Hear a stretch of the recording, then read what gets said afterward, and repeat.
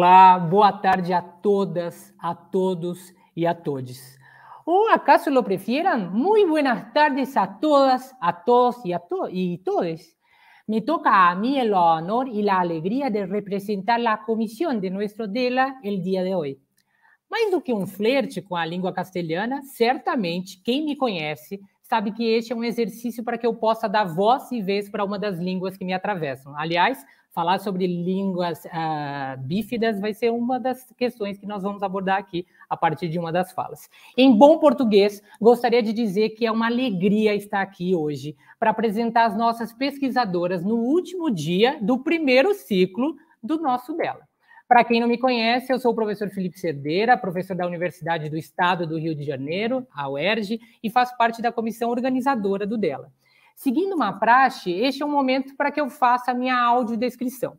Pensando sobre o que o professor Limário Menezes de Souza nos disse ontem, dentre tantas coisas importantes, sobre o fato de que não é possível um fazer decolonial sem situar de onde falamos, eu gostaria de propor algo distinto para vocês logo no começo. Não quero me apresentar aqui como um homem de pele branca que está com uma jaqueta vermelha, camisa rosa, gravata preta e que tem uma boina na cabeça xadrez.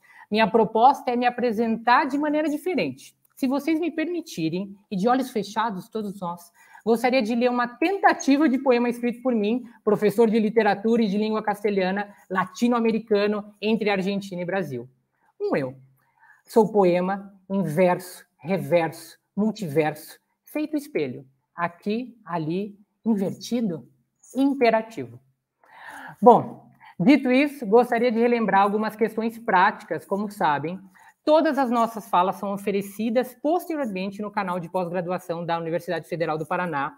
Sabemos de, é, da relevância dos nossos intérpretes de Libras, mas infelizmente, no dia de hoje, por uma questão de outras demandas dos nossos intérpretes, nós não vamos, de Libras aqui da, da nós não os teremos é, é, para nos acompanhar. No entanto, estamos buscando, vocês já sabem, ouviram isso desde o primeiro dia com a professora Clarissa Jordão, a possibilidade de legendar futuramente todas as falas que estarão disponíveis. Hoje nós temos mais duas pessoas convidadas que vão fazer suas falas sobre decolonialidade, de dentro da linguística aplicada, com as suas é, contribuições, pesquisas, reflexões que vão contemplar os letramentos críticos, a crítica, a educação linguística, a formação é, docente, enfim, é, entre outros temas. As pessoas que apresentarão no dela foram convidadas ao se apresentarem de uma forma diferente, vocês já sabem, é aquilo que nós estamos chamando de apresentações multimodais, seja por a, a partir de uma imagem, por uma música, por um texto.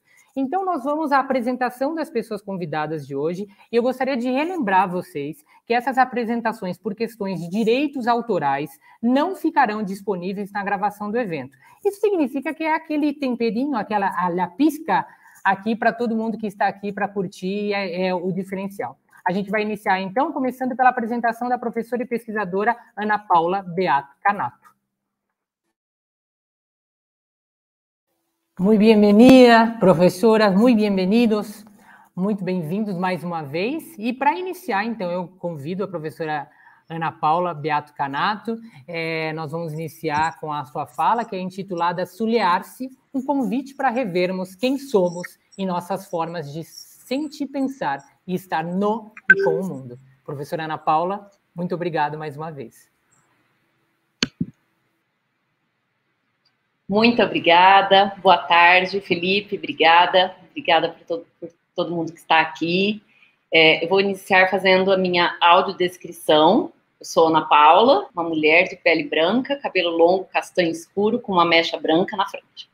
Tenho olhos castanhos pequenos, nariz e lábios médios. Estou usando brinco de pérolas bem pequenas, blusa preta e colar verde. Estou sentado em uma cadeira e atrás de mim tem uma parede branca com desenho de minha filha e de meu filho, que vocês acabaram de conhecer. Uh, bem, então gostaria de agradecer primeiramente as minhas parceiras e parceiros da comissão pela oportunidade a Gabriela pelo diálogo que vamos desenvolver hoje, ao Felipe e a Dani que vão nos acompanhar aqui, e todo mundo que está aqui acompanhando na torcida e no apoio, sabendo que eu vou apresentar muitas inquietações hoje. Também faço um agradecimento bem especial à Adriana Braim, também parte da comissão, por todas as conversas e inquietações que temos trocado e que tem fomentado esse meu diálogo com Freire e a decolonialidade. Um, é, Denise, eu vou te avisando quando é para passar os slides. Coloca para mim, por favor, então.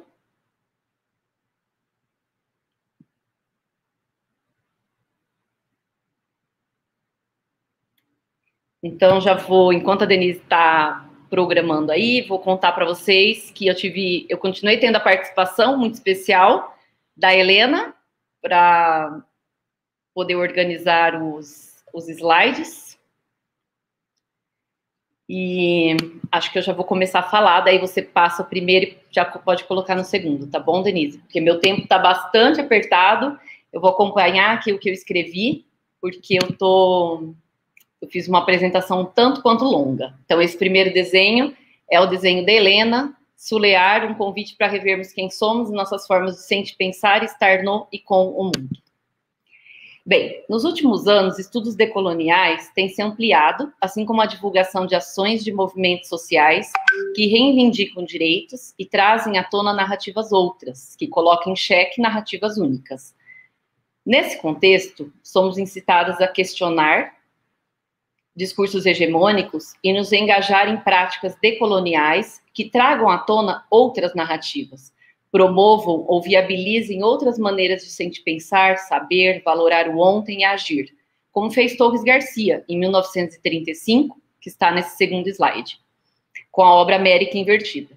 Somos convidadas, assim, a abrir novas janelas, ampliar as que temos, por vezes refutar, desaprender e aprender e construir diferente, como Helena trouxe em minha apresentação. No próximo slide, Concomitantemente a esses estudos e mudanças, atravessamos um período drástico de crise sanitária e política, com quase 600 mil mortes e discursos que negam a gravidade do vírus, nos dividem, nos classificam, nos afastam, nos fazem recuar até desesperançar. Mas então, em momentos como esse, Freire adverte que não podemos ser espectadoras, mas sujeitas, na medida em que, percebendo as contradições, podemos nos tornar criticamente otimistas. Próximo slide, por favor. Descruzar nossos braços e assumir nossa responsabilidade, capazes de esperançar no sentido de projetar e participar de transformações. O próximo. Bem, então, diante dessa realidade, como parte da comissão organizadora do evento Decolonialidade Linguística Aplicada dela, algumas das primeiras perguntas que me fiz foram: como Paulo Freire vai estar presente ao longo do evento, suas ideias serão trazidas, ressignificadas, atualizadas ou refutadas em diálogo com outras pensadoras decoloniais ou não serão consideradas? Na semana do centenário de nascimento de Freire, me desafiei a homenageá-lo. Para isso, optei por propor um retorno às suas obras e, assim como Ana Freitas, encontrar parentescos intelectuais entre ideias freirianas e perspectivas decoloniais mais recentes. Essa foi a promessa feita em meu resumo. Mas o que consegui fazer até hoje são apenas as ideias de Freire, ficando para um outro momento, para o nosso diálogo, Gabriela, o estabelecimento de tais parentescos. Tomando esse desafio de arriscar-me, aceitei vir apresentar um projeto de pesquisa embrionário, de fato embrionário, nesse evento que reúne tantas pessoas interessadas na área. É de fato embrionário porque essa apresentação é dos primeiros passos dessa investigação, que teve início com a escrita do resumo. A partir do resumo esboçado, passei a prestar mais atenção nas menções a Freire e em leituras sobre decolonialidade, e noto que suas ideias são trazidas por muitas dessas pesquisadoras. Encontrei, por exemplo, uma revista chamada uh, Interculturalidade Sulear, com a capa com Paulo Freire. Contudo, me parece que o alerta de Altamirano, 2016, faz sentido. Ela afirma que, embora sendo apontado como precursor das epistemologias do Sul, Paulo Freire continua sendo silenciado, marginalizado e mal interpretado na academia, tanto no Norte quanto no Sul global, em termos de correntes dominantes e marginalizadas. A autora problematiza os números que aparecem no Google em buscas rápidas por autores como Paulo Freire, Foucault e Gramsci, em contraste com a forma tímida como Freire aparece em algumas produções acadêmicas e finaliza perguntando: So where is Paulo Freire? A pergunta, J. Miriano, faz sentido para mim quando penso nos cursos de formação de professoras de linguagens no Brasil. No semestre passado, por exemplo, dividi uma disciplina com a Adriana, chamada Pedagogia Freiriana, Linguística Aplicada e Decolonialidade. E conforme, confirmamos essa colocação de Altamirana quando as alunas confirmavam que não tinham lido Paulo Freire de maneira sistematizada na sua formação, ao menos a maioria delas. Nota a presença de Freire em outras áreas, como educação, antropologia, grupos interdisciplinares, mas muitas vezes pouco falado ou estudado em nossa área. Esse foi meu caso também. A partir dessas inquietações, então, disposta a investigar possíveis contribuições de Freire para nossas discussões sobre decolonialidade, nossos movimentos de nos decolonizar, assumi esse compromisso de revisitar suas obras, não leituras de Freire, mas ler Freire, olhando para os conceitos de linguagem, palavra-mundo, leitura, alfabetização, letramento e dar início a estabelecimento de parentescos intelectuais com autoras contemporâneas que discutem modernidade, decolonialidade e epistemologias do Sul. Essa apresentação é, portanto, um primeiro passo e uma oportunidade incrível para mim de compartilhar com vocês esses passos e ouvir indagações e contribuições. Já agradeço muito por isso. Nesse próximo slide, nós temos a imagem de Paulo Freire com Márcio Campos e com Ana Maria Freitas. Eles dois fazem um convite para a gente, para rever nossa linguagem, a maneira como nos expressamos, nos alertando que mudar a linguagem faz parte do processo de mudar o mundo. Isso em 1992. A relação linguagem-pensamento-mundo, segundo eles, é uma relação dialética, processual, contraditória. Por isso, além de mudar nosso discurso, precisamos nos engajar com práticas também democráticas e antidiscriminatórias. Um passo importante para isso seria nos sulear, eles convidam. Rever nossas formas de ser, estar, saber no e com o mundo. Ideia que ampliarei mais adiante. Vejo aqui um forte convite, um forte parentesco entre as ideias freirianas e as perspectivas decoloniais mais recentes. Não sei se concordam. Nas próximas partes de minha fala, pretendo trazer conceitos de linguagem e um pouco dessas reflexões. Então, nesse próximo slide, nós temos. Estamos no slide 7? Sim. Nós temos minha primeira pergunta. Considerando que sua obra mais conhecida e citada é Pedagogia do Oprimido, pergunto: o que seria oprimido e o que seria opressor? Podemos pensar aqui na ideia de colonizador-colonizado? Quem seria quem? Seria esse um parentesco entre Freire e estudos decoloniais? Para Freire, oprimidos, oprimidas, são aquelas que tiveram suas existências negadas. Em boa parte de suas obras, a questão de classe é colocada como cerne da questão. Contudo, no livro Alfabetização, Leitura do Mundo, Leitura da Palavra, por exemplo, lemos a seguinte definição: Oprimidos são seres humanos proibidos de ser, são explorados, ultrajados e a eles se negam violentamente o direito de existir e o direito de expressar-se. Isso é verdadeiro, quer esses dominados representem todo um povo, um grupo social, como os homossexuais, uma classe social, ou determinado grupo sexual, como as mulheres. Macedo e Freire. Nessa citação, Freire estaria expandindo sua ideia de oprimido e pensando em diferentes corpos, diferentes grupos, nos convidando a fazer diferente? Embora a classe continue sendo o cerne de suas discussões, e esse seja um ponto que tem sido bastante ampliado em estudos mais recentes, dando ênfase ao construto de raça e interseccionalidade, e procurando nos desfazer de ideias binárias, em meu entendimento, percebo que Freire, ao longo de suas obras, amplia seu olhar e vai incorporando outras questões identitárias a seus pensamentos. A influência de Fanon talvez seja uma grande chave desse processo, bem como de Amilcar Cabral, como ele mesmo afirma.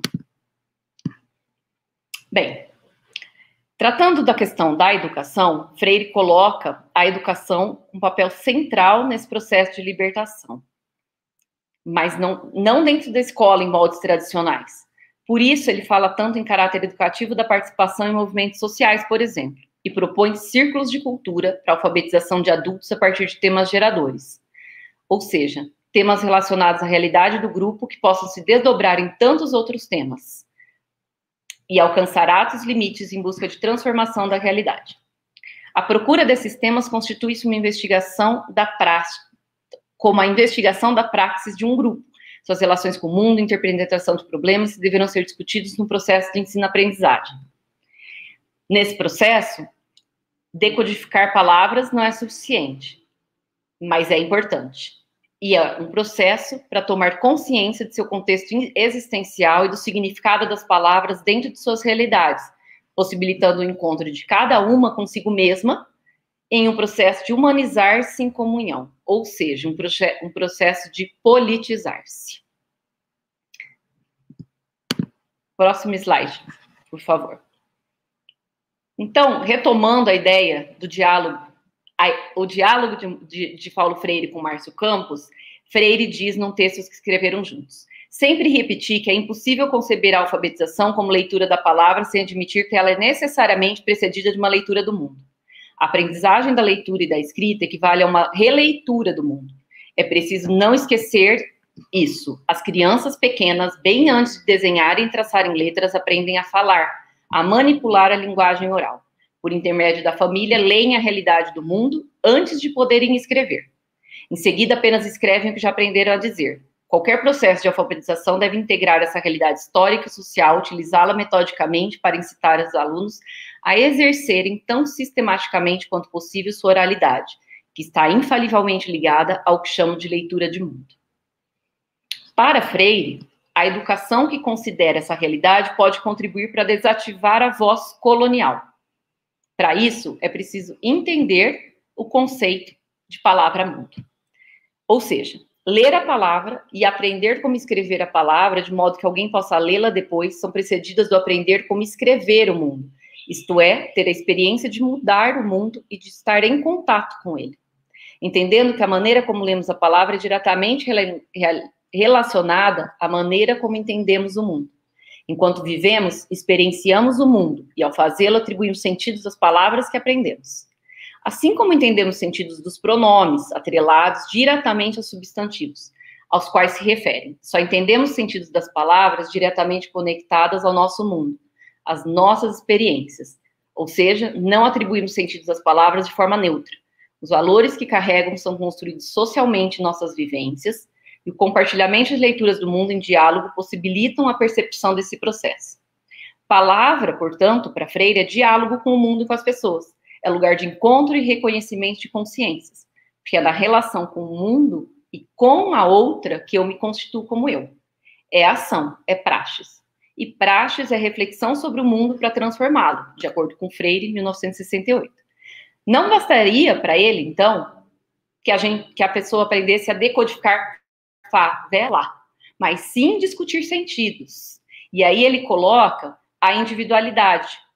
Ele diz que quando ele pronuncia a palavra favela, talvez ela saia da boca dele de maneira leve, porque não é a, realidade dele.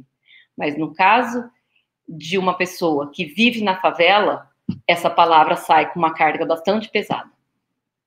Aqui, então, eu trago uma pergunta para compartilhar com vocês. Esse olhar para a linguagem como construção social não seria similar ao seu olhar para a linguagem como câmbio, como ação, Gabriela? Será que podemos dizer que uma expansão na proposta de Freire estaria na ênfase na questão de raça, interseccionalidade, no foco no compartilhamento de uma maneira de viver e a disposição mútua a favor de comunicar-se? Seria isso? No próximo slide, eu trago um pouco para vocês o diálogo de Freire com Shore, em Medo e Ousadia. Freire reconhece que. Ah, desculpa, eu trago essa pergunta, né? Se a, a linguagem sempre foi vista como. Só um pouquinho, nós estamos em slides diferentes. Eu estou no slide 10. Isso. Será que para Freire a linguagem sempre foi ideológica? Ele mesmo assume que não. Ele reconhece isso nessa conversa em Mediosodia com Ira Shore. Ele diz que, como professor, no início da carreira, ele não percebia o condicionamento social da linguagem tinha preocupação com o uso correto da língua, como se isso existisse. Mas foi salvo por leituras de autores como José Lins do Rego e Graciliano Ramos, os quais não estavam preocupados em seguir gramática, mas sim com um momento estético. Essas leituras, quando ele tinha aproximadamente 20 anos, o possibilitaram a compreender que a beleza e a criatividade não podiam viver escravas da correção gramatical. Então, nesse momento, mudou sua prática e só mais tarde compreendeu que a criatividade na pedagogia está relacionada com a criatividade na política. Então passou a fazer vários questionamentos, como esse. Quando foi que uma certa forma de gramática passou a ser a correta? Quem é que chamou a linguagem de elite da linguagem padrão? Foram eles, claro. Mas por que não chamá-la inglês de classe alta dominante em vez de inglês padrão? Essa nomenclatura autêntica revelaria em vez de ocultar a política de poder da sociedade. Em outro excerto, em outro diálogo com Faundes dessa vez, eles perguntam: quem define que um certo padrão de fala é o certo, o culto? Se há um que é culto, é porque há outro que é inculto. De quem é um e de quem é outro? Quem diz que a linguagem das crianças populares é errada, deficiente? Quem fala da incapacidade de abstrair, na falta de coerência na linguagem das classes populares dominadas? Faz tudo isso quem tem poder. E em função do seu poder, quer dizer a serviço do seu interesse. Quem tem poder econômico, perfila quem não tem. O diálogo entre eles, entre Freire e Shore, continua analisando aulas de redação, comunicação e literatura e o quanto elas podem silenciar, desinteressar e até alienar estudantes ao focar em exercícios mecânicos de gramática, sintaxe e, e, e retórica. Com Falmundes, Freire discute a necessidade de revisar nossa linguagem como parte do processo de transformação da sociedade, parte da revolução que entendem ser necessária. Aqui me pergunto, Freire não estaria nos convidando a delink, ou seja, desnaturalizar, como propõe Quirrano e Mignolo? Não estaria problematizando a universalidade abstrata que destitui o locus de enunciação, como comentado por Limário ontem?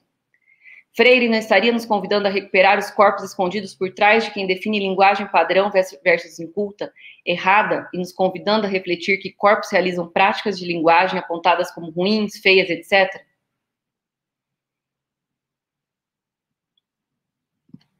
Poderíamos aproximar essa reflexão da proposta de, de Mignolo, então, de colocar entre parênteses, ou seja, entender que algo tem validade em contexto específico? Avançando um pouco mais no próximo slide, nós temos linguagem como forma. Não, volta um, Denise. Isso, linguagem como forma de ser. O próximo. Linguagem como forma de ser no mundo, a colonialidade e a necessidade de sulear. Bem, finalmente entro na proposta que me né, pus a fazer hoje.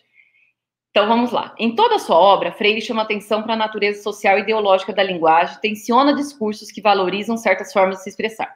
Discute a divisão de linguagem padrão versus não padrão, língua e dialeto, e propõe aproximação com os grupos, entendendo suas formas de se expressar.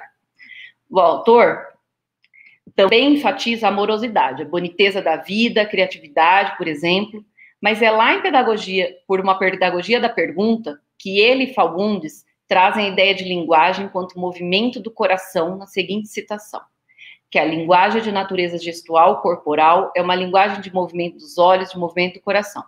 E esse movimento, para Freire, pode ser respeitoso, amoroso, inclusivo ou violento e desumanizante.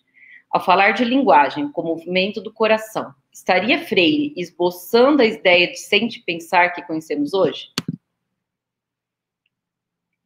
No próximo slide, por favor. Focando agora na ideia de desumanização, já em Pedagogia do Oprimido, Freire traz exemplos de palavras mundo violentas que, segundo ele, são usadas pelos opressores para tratar dos oprimidos como os que desamam, quando esses reagem à violência dos opressores. Essa gente, essa massa cega, invejosa, selvagens, nativos, subversivos, violentos, bárbaros, malvados, ferozes, são alguns dos termos empregados para se referir aos oprimidos quando se engajam contra um olhar para eles como se fossem coisas. Ou seja, quando agem por amor, movidos por um anseio de busca do direito de ser. Essa análise de Freire é feita com base na diferença de classe. Nessa linha de pensamento, estudioso aponta que para os opressores o que vale é ter mais e cada vez mais, à custa do ter menos ou do nada ter dos oprimidos.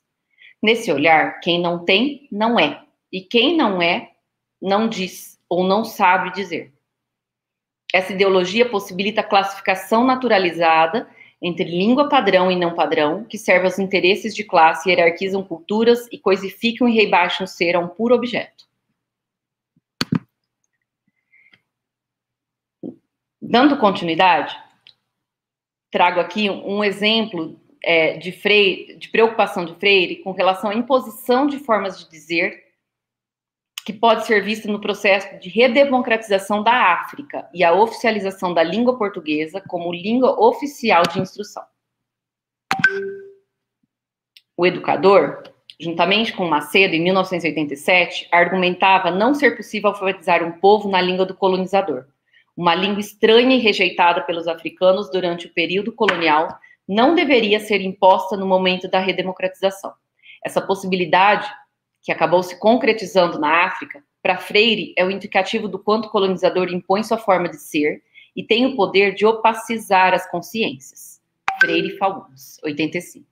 A imposição da língua portuguesa como língua de instrução seria uma contribuição importante para essa permanência e para o aprofundamento das diferenças entre as classes sociais. O educador lembra que língua não é mero instrumento de comunicação, mas uma estrutura de pensamento carregada de valores culturais. A oficialização do português reforça a ideologia de que a língua do colonizador é autônoma e bela, enquanto a língua do colonizado, o crioulo, é algo inferior, uma coisa feia, pobre, incapaz, por exemplo, de expressar a ciência, a tecnologia, como se as línguas não se alterassem historicamente em função do próprio desenvolvimento das forças produtivas, como se as línguas nascessem feitas. Nesse sentido, no diálogo com Macedo, Freire fala de uma certa relação entre pensamento e linguagem como expressão do processo real de pensar e da concretude da realidade daquele que fala, daquele que pensa e fala e daquele que fala e pensa. Então ele propõe: não seria bom inventar um novo verbo? Falar, pensar ou pensar, falar? Hoje, poderíamos ampliar e dizer que a relação é intrínseca entre sente, pensar, linguajar? Sobre pensamento, Freire afirma: jamais sobre sentimentos, Freire afirma: Jamais pus sentimentos e emoções entre parênteses. Apenas os reconheço à medida que me expresso. Veja essa denúncia da violência da oficialização de língua do professor como um parentesco intelectual com interpretação, com sua interpretação, Gabriela. Não sei se você concorda. Sobre o paradigma da linguagem dos tempos da conquista, o qual carrega a lógica da colonialidade, porque prescreve uma relação entre linguagem e poder, território, escrita, religião e civilidade, e civilidade como você coloca. Vou traduzir um pedaço aqui que eu encontrei no seu texto de 2015. Há um vínculo entre, por um lado, a desumanização das populações racializadas e o concomitante desprezo de suas linguagens como a expressão simples de sua natureza inferior. E, por outro lado, uma ideologia linguística analisada como monolinguajar, que oculta a opressão colonial dialógica e discursivamente. Dando sequência, trago um outro exemplo de Freire em seu processo de olhar para a sua própria colonialidade. Próximo slide, por favor, Denise. Isso. Esse outro exemplo de Freire a respeito da colonialidade da linguagem é sua própria postura com relação à sua forma de dizer. Após ter sido fortemente criticado por sua linguagem machista, Freire compreendeu melhor o quanto a linguagem é ideológica. Questiona: como explicar, a não ser ideologicamente, a regra segundo a qual, se há 200 mulheres numa sala e só um homem, devo dizer, eles todos são trabalhadores dedicados? Isso não é, na verdade, um problema gramatical, mas ideológico. Freire analisa que a discriminação da mulher expressada e feita pelo discurso machista e encarnado em práticas concretas é uma forma colonial de tratá-la, incompatível, portanto, com a posição progressista de qualquer pessoa. A recusa à ideologia machista, que implica necessariamente a recriação da linguagem, faz parte do sonho possível em favor da mudança do mundo. Por isso mesmo, escrever ou falar uma linguagem não mais colonial, eu o faço, ele diz, não para agradar a mulheres ou desagradar a homens, mas para ser coerente com minha opção por aquele mundo menos malvado que falei antes. Não é puro idealismo. Acrescente-se. Não esperar que o mundo mude radicalmente para que se vá mudando a linguagem. Mudar a linguagem faz parte do processo de mudar o mundo. A relação linguagem-pensamento-mundo é uma relação dialética processual contraditória. É claro que a superação do discurso machista, como a superação de qualquer discurso autoritário, exige ou nos coloca a necessidade, concomitantemente com um novo discurso democrático, antidiscriminatório, nos engajarmos em práticas também democráticas. Vejam que muito tempo depois, a Helena continua observando esse mesmo machismo na linguagem e questionando por que, que a gente fala assim. E ela não se sente incluída. Nesse processo, no próximo slide, por favor. Nesse processo de olhar para si, Freire, em obra de 92, faz uma análise de sua própria maneira de lidar com estudantes, trabalhadores operários, e nesse momento adverte que, embora consciente das diferenças entre ele e essas pessoas, acabava quase sempre partindo de seu próprio mundo, como se ele devesse ser o sul que orientaria todos os outros, como se ele fosse capaz de sulear o mundo dos outros. Segundo Ana Maria Freire, em notas na obra Pedagogia da Esperança, Freire usa o termo sulear ao invés de nortear para marcar a ideologia da linguagem e a conotação ideológica de termos como nortear, norteá-los, orientação, orientar-se e outras derivações. Faz isso em alusão à, à, proposta de Márcio Campos, que eu já mencionei lá no início da minha apresentação, que adverte que a forma como dizemos e nos relacionamos com o mundo é orientada pelo que chamamos de primeiro mundo ou norte global e que ao construir um sentido e realidade, tendo o norte como ponto de partida, acabamos nos identificando como inferiores porque partes do sul. Em texto de Freire Campos, encontramos a proposta de sulear, enquanto verbo, como uma crítica à colonialidade configurada em diversas formas de dominação, de saber e de poder. Essas vêm sendo perpetuadas desde a descoberta ou inauguração hoje diríamos invasão das Américas, e posteriormente reforçadas pela modernização dos modos de vida, produção e mercantilização. Em oposição, queremos contribuir para o reconhecimento e importância da existência de diferentes consciências identitárias, assim como para os processos de comunicação e cognição. Impõe-se que tais processos sejam marcados pela reciprocidade, pelo respeito à diversidade sociocultural de todas as populações sobre o globo. O vocábulo sulear então, é um posicionamento crítico sobre as representações geradas pelas orientações espaciais e de orientação entre as polaridades do eixo norte-sul e as tensões oriundas dessa relação. Tais representações, porque trazidas de outros contextos sem as devidas problematizações, prejudicam pontos de vista e saberes locais, disciplinares ou não, interferindo negativamente em outras percepções e, consequentemente, nas leituras de mundo e da palavra entre populações urbanas e rurais, assim como entre aquelas de culturas locais distintas. Esse convite a sulear constitui-se, portanto, como exercício de reflexão social, política e cultural sobre quem somos e como somos. Márcio Campos se inspira na gravura América Invertida do artista uruguaio que eu já mostrei lá no início, que ao inverter o mapa sul-americano nos leva a refletir sobre o território reposicionado do sul para o norte. Estaria ele de ponta cabeça ou seria uma outra forma de olhar o mundo? Sendo a Terra redonda, haveria parte de cima e de baixo? Quem define civilização e cultura? Principal, secundário, superior, inferior, criador, imitador, níveis de inteligência e do poder criador dos homens e das mulheres atrelados à posição geográfica? Freire questiona. Ao olhar o mundo diferentemente, notamos que nossa linguagem se constitui a partir desse referencial geográfico, que se volta para o norte como o cume, o superior, o ponto mais alto, o lugar onde o conhecimento é elaborado. A palavra orientação, por exemplo, vem de Oriente. Enquanto no hemisfério norte a estrela polar permite o norteamento, no hemisfério sul, o cruzeiro do sul permite o suleamento.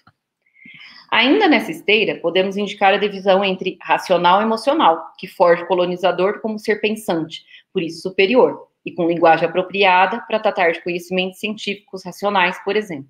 enquanto colonizado, não teria conseguido se distanciar de suas emoções, por isso seria inferior. Deveria receber conhecimento produzido pelo ser superior e sua linguagem seria incapaz de expressar racionalidade.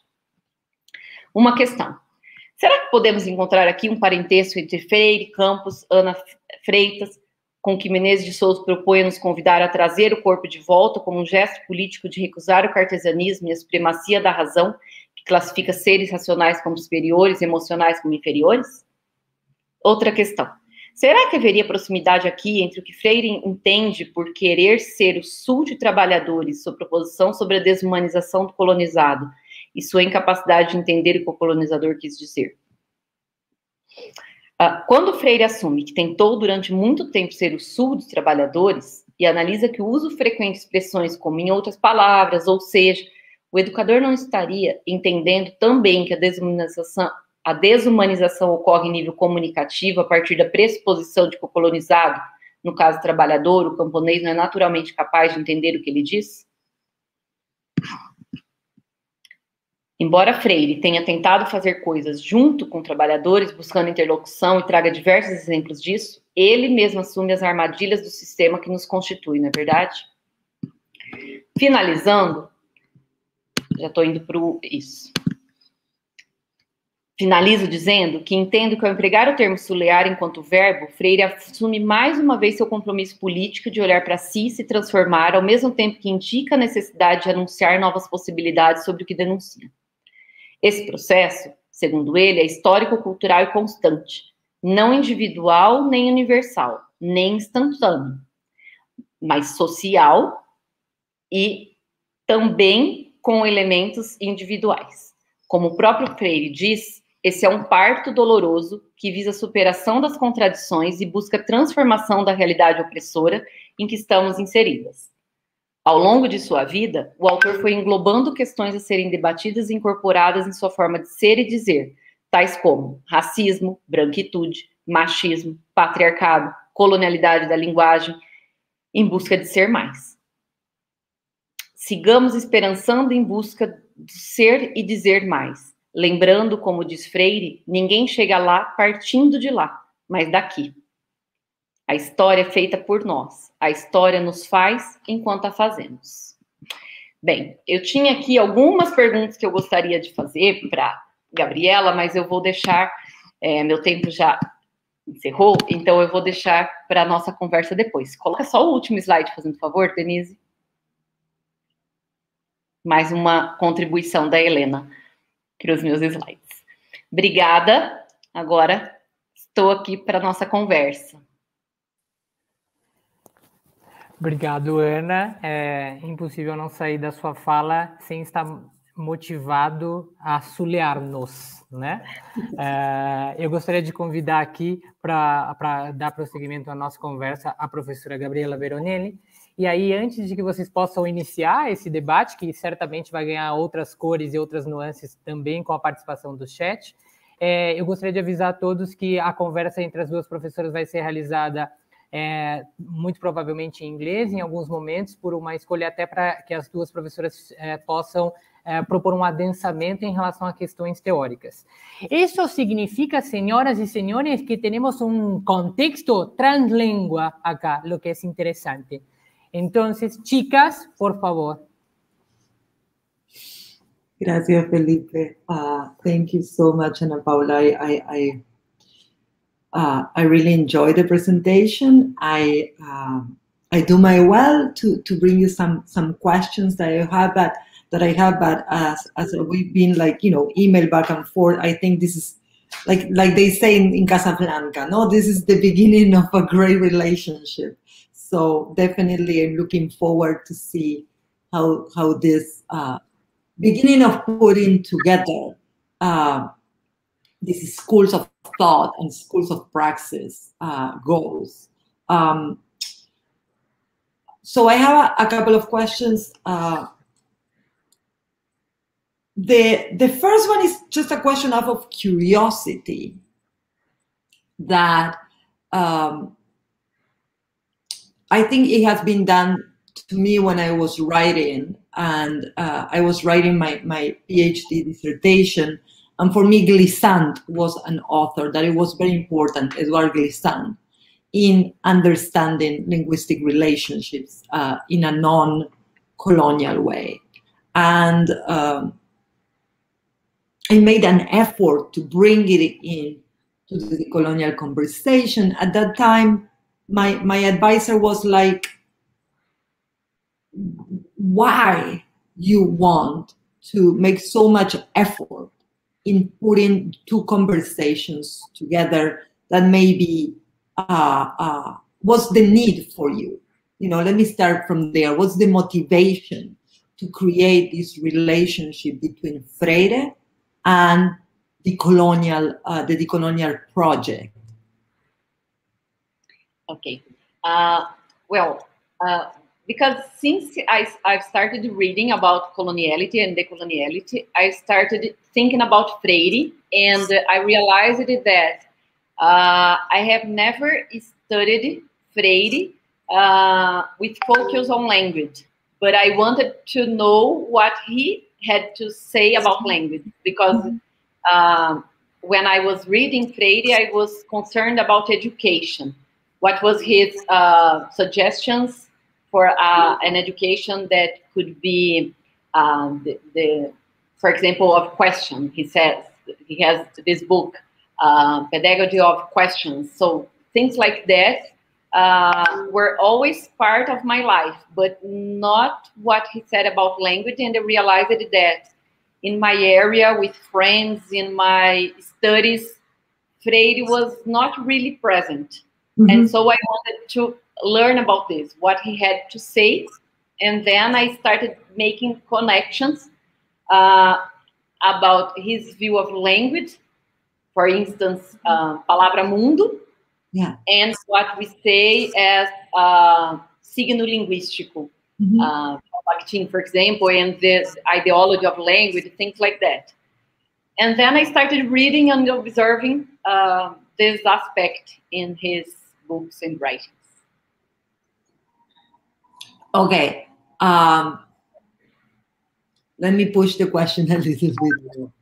Um, because, uh, uh, like, you think there's an echo uh, in, um, let me put it this way, just to understand. Um, so, the understand this this first question that you asked, like, is the uh, uh, oppress or oppress duality? Does it echo the colonizer colonized duality?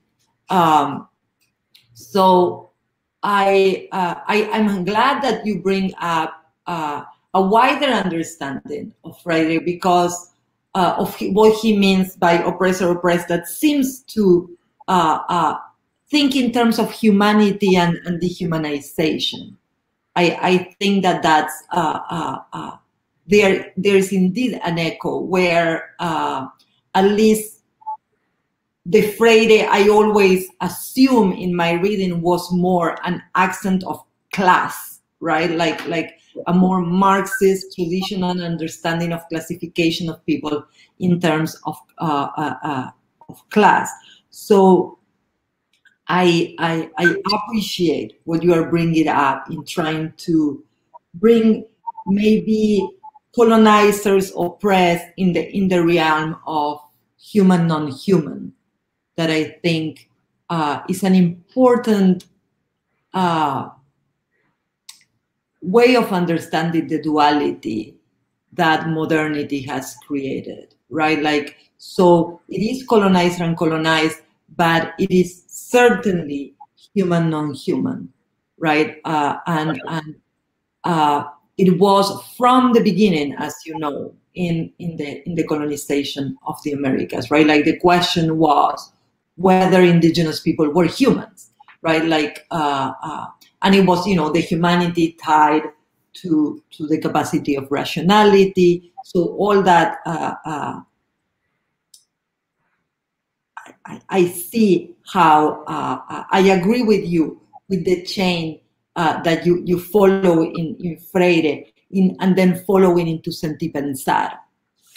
In, you know, like an understanding of rationality that disturbs the, the, the modern colonial rationality. So I can see how the oppressed, to put it shortly, I can see how the oppressed of, Freire is the non-human of not only of coloniality, right? Like, but the non-human of, of Fanon, the, the, the, the dehumanized of, of uh, Du Bois, you know, is also the, the, so let me, let me try to go back to questions. Uh, uh, so,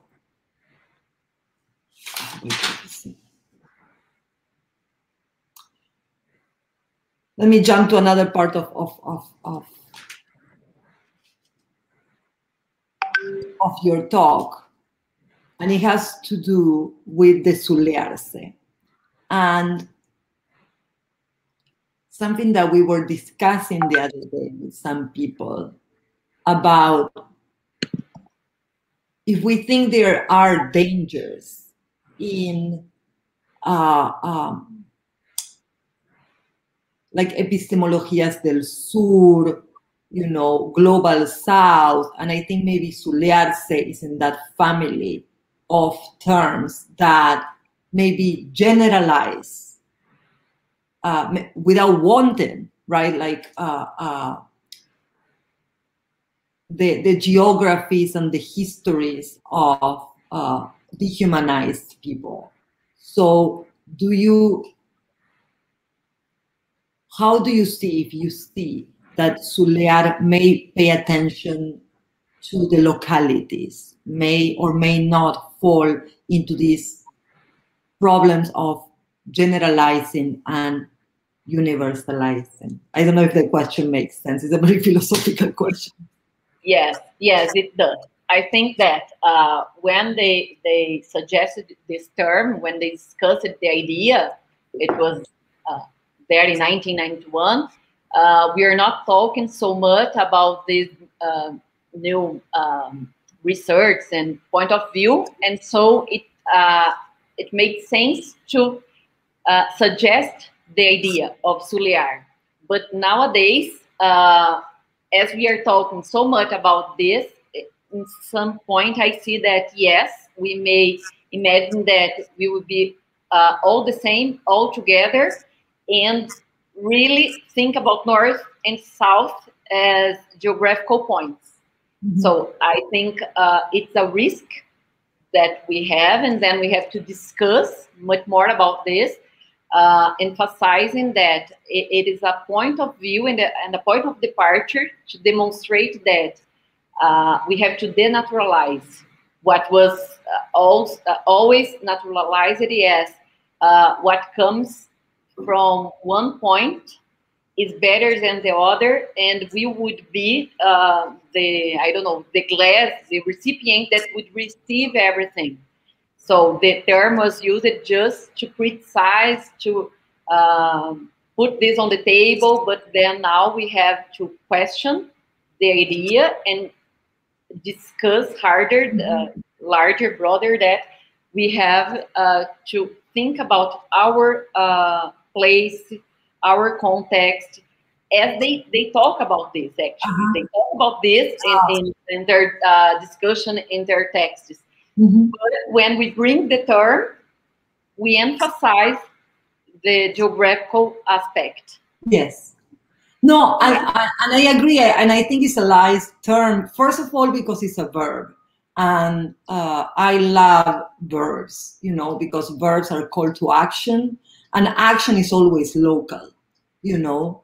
I'll, I'll, I'll, action is always done by people in a particular time uh, in a particular space with particular companies so i think that that because it's a verb uh, uh, it's a way of thinking you know locally you know like uh, uh, to bring it to the local conversation. I mean, there's nothing wrong, and, and I think that that's all part of undoing globalization, of thinking globally from the South. Uh, the, the question I was bringing was always we have to be careful you know, that that tendency to generalize, that tendency to uh, uh, go for what is in common, that we have been trained by modernity. You know, like that's the question that matters to modernity. That's the question that matters to comparative stuff. That's the question. Doesn't you know betray us in now lumping uh, uh, together uh, realities that may not, you know, may have difference between each other, and those differences are important, right? Like so. Um, let me uh, maybe ask uh, uh, one last question, and and and uh, as I say, I, I I like to read the chapter that you send me more more detail and have more time uh, uh, to you know um, taste your concepts and your ideas. But I like this idea of rethinking language as uh, uh, an uh, where is the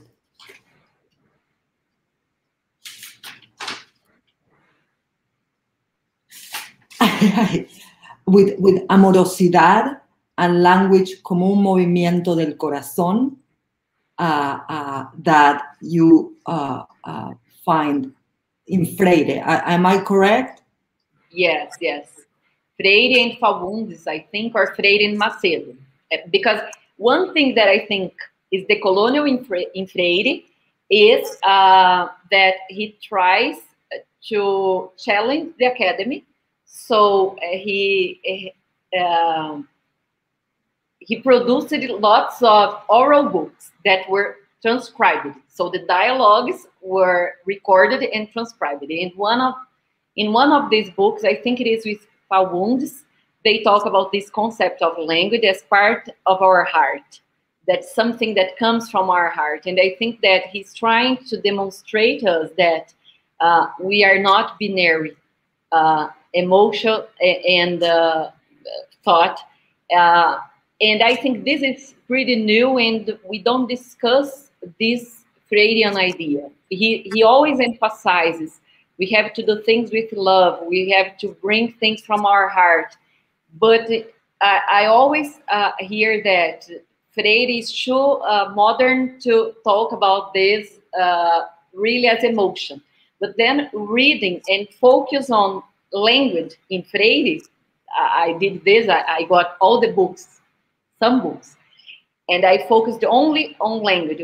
How does he define language? I, I don't know if I'm mistaken, but for me, he's always trying to emphasize that what we say is uh, feeling and thinking together. It's mm-hmm. our our expression uh, is always together. And I like this idea. And I like to find this in Freire. no, definitely I like the, the idea of, of language and loving. Like in the in the in, in my presentation I will talk very, very, very, very, very briefly at translation as love.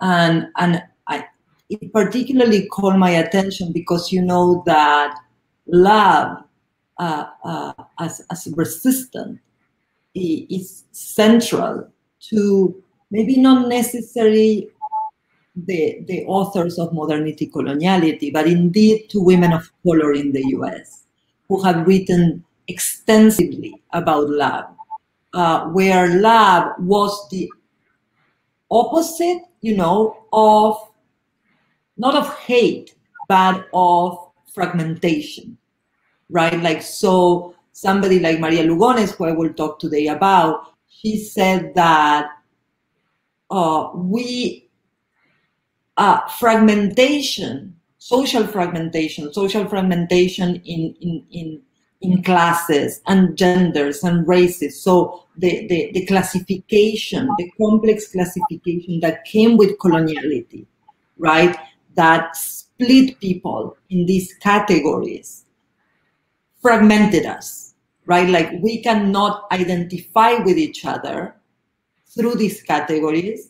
And because we cannot identify with each other, we cannot love each other, right? So it's a very uh, simple but profound understanding what it means to love, right? Like uh, uh, that is not naive, that is not has nothing to do with with intimacy or um, blood ties, but is loving as political action. So that I I really really like uh, uh, to find that uh, call for love uh, as a political action. I understand your your uh, desire to connect it with the sentimental. Uh, I have a little bit of sometimes problem with the word sentimental, but I think those are not important here. Uh, uh, so I'm keeping the, the essence that you are bringing to to, to the the possibility of of uh, love and sentimental in Freire. I don't have more questions, uh, so uh, uh, I'm sure the audience. I I promise I'll I'll bring more to you when I have the time to read it carefully. Thank you very much. You're welcome. Bien, muchísimas gracias, Gabriela e Ana Paula.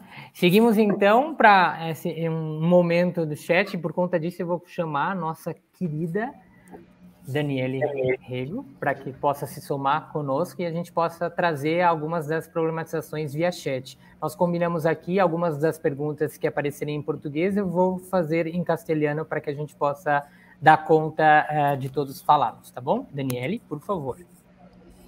Olá, boa tarde. É com muito prazer que eu estou aqui novamente, dessa vez participando desse encontro com a professora, as professoras e pesquisadoras Ana Paula Beato Canato e Gabriela Veronelli.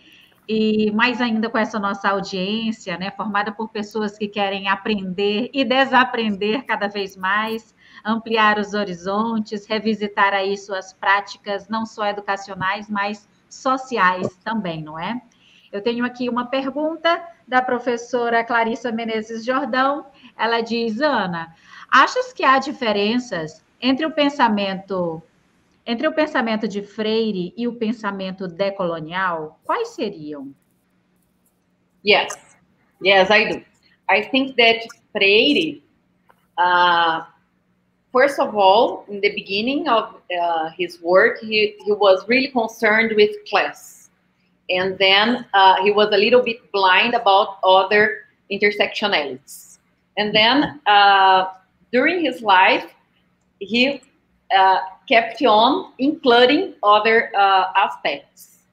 But mm. till the end, the focus was class. Class with race, class and gender. But class was this, uh, the central point, and I see that in the decolonial studies, race is uh, the central point with intersectionality. This is uh, one aspect. Um, what else? Let me see. Would like to say something, Gabriela?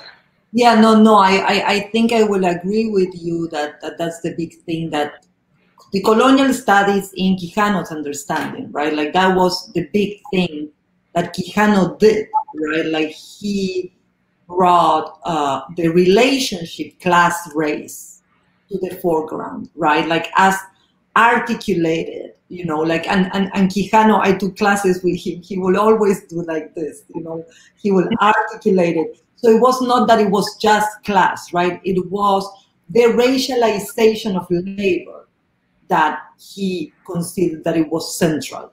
Uh, so not just class, uh, uh, but that articulation. So, uh, and then as you are saying, and I think it's important contribution that Lugones had done, it also bringing gender into the picture, right? Like, so, so we don't think ra race, class, gender, right? Like, and I think that that's what you are saying that Freire tend to do, right? Like where these categories were like add to each other. I don't know here, add to each other instead of thinking them intersectionally.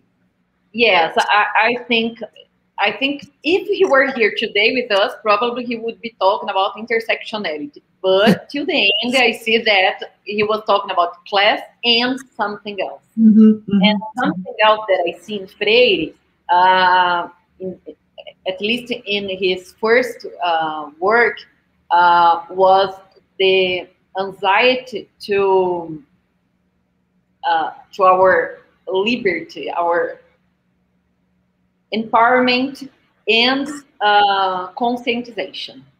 Uh, nowadays, we talk about decol- uh, to decolonize ourselves, and I see similarities with this idea of become conscious. And we become conscious in contact with others. And then he brings, for example, his example um, in while he was in exilio. How do you say that? I don't know. Uh, but when he was in exilio, uh, that he had to learn who he was. And this was a very important process. So yeah. I feel that he always talks about social and about group, but he's always bringing examples of himself as an individual. Mm-hmm. And I think this was this is important to bring because yesterday we discussed a little bit about this. Uh, if Freire was always talking about emancipation as a group, and so we could not do it individually, or if it's possible to do it uh, individually as well. And I think Freire believes and brings many examples that yes, we can, but the focus was the group. And, um, another thing that I feel that Freire, that, that distinguishes Freire from the decolonial uh, studies that we are reading nowadays, uh, is the idea of revolution. Hmm. Even hmm. in Por uma Pedagogia da, da Pergunta, that is from 1985, he's talking about a revolution and he, he brings the idea of a re revolution in language as well. He says that we, we should find uh, points in common to have a language in common. And I think that today we would say that this is just impossible. Yes, we have to change language as he did, talking about um, the how language uh, may may be oppressive, but we are doing this uh, not as a revolution, but as a process. So I see that he talks about process, but but at the same time he talks about revolution. And nowadays we don't talk about revolution. We we talk about about changing as a process, and that's a lot. Ana, é, falando sobre essa revolução e, como você falou, emancipation as a group, e por outro lado, como indivíduo, né? É, eu tenho me questionado isso é, quando eu entrei nesse processo de imersão, de, de quando a gente percebe que a gente é oprimido, como professor, em alguns ambientes de trabalho, né? Porque a gente tem ainda padrões de poder, seja aqueles que vêm do Estado, do nosso gestor, de alguns pais é, das escolas que a gente trabalha. Então, fico pensando como superar os desafios do professor oprimido nesse contexto, como, como promover uma prática de educação libertadora se a gente muitas vezes não se sente ainda livre.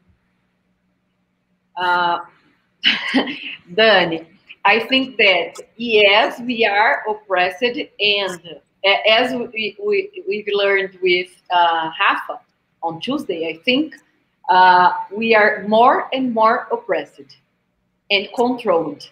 And teachers in Brazil uh, have been suffering a lot with this, right?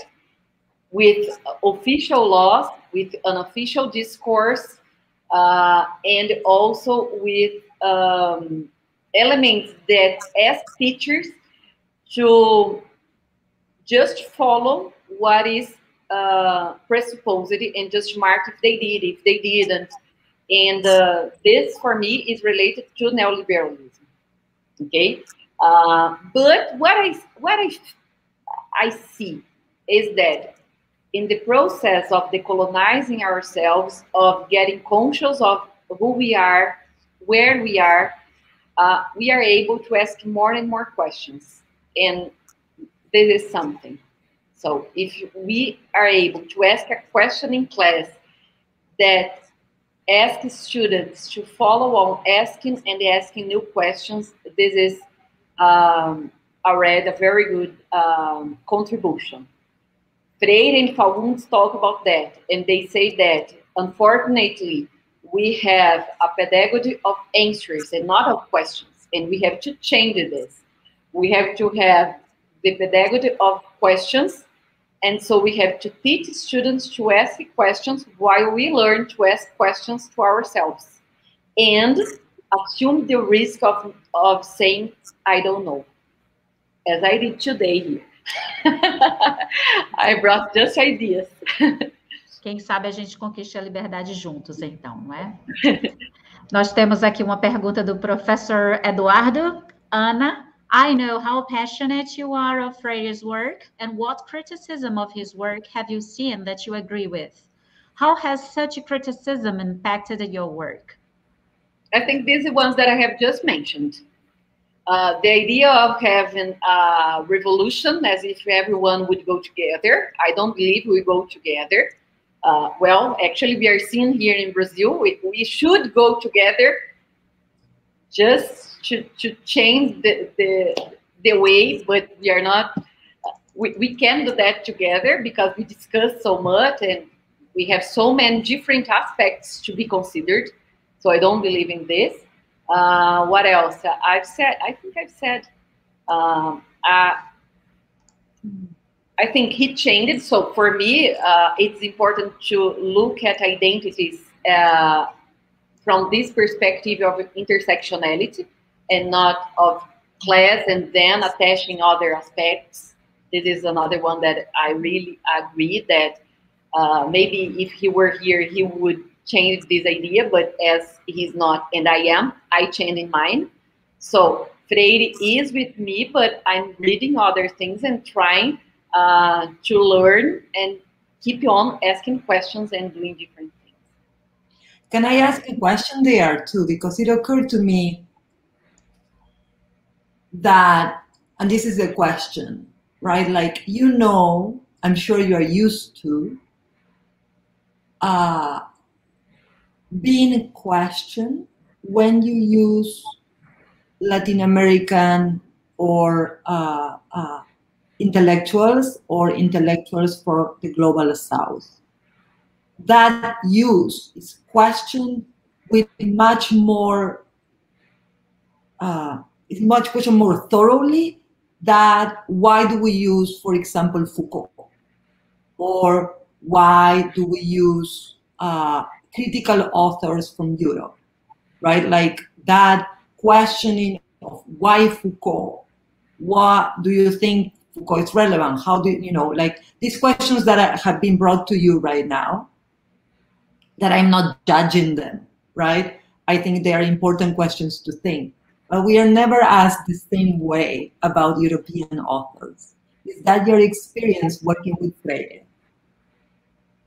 that you are more like you know why how you know uh, uh, yes i wanted it's, it's a curiosity question yes and you asked me why i decided to go back to freire and try to link freire to the colonial studies and this is the reason especially because people would ask me well i had two points actually i had some students who used it to say Ana Paula, you are so Freiriana. And I was like, what is this? What does it mean to be so Freiriana? Today I assumed this idea of Freiriana, but not Freiriana, right? Uh, and then I was like, what is this? And then when we started talking about um, the colonial studies and research, uh, I had some students who, who told me like, no, I don't like Freire. I have never read Freire, but I don't like Freire. Okay.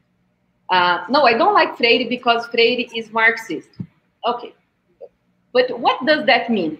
And then I said, well, Della is a very good opportunity to study and talk about this. And then I decided to come here and start this discussion.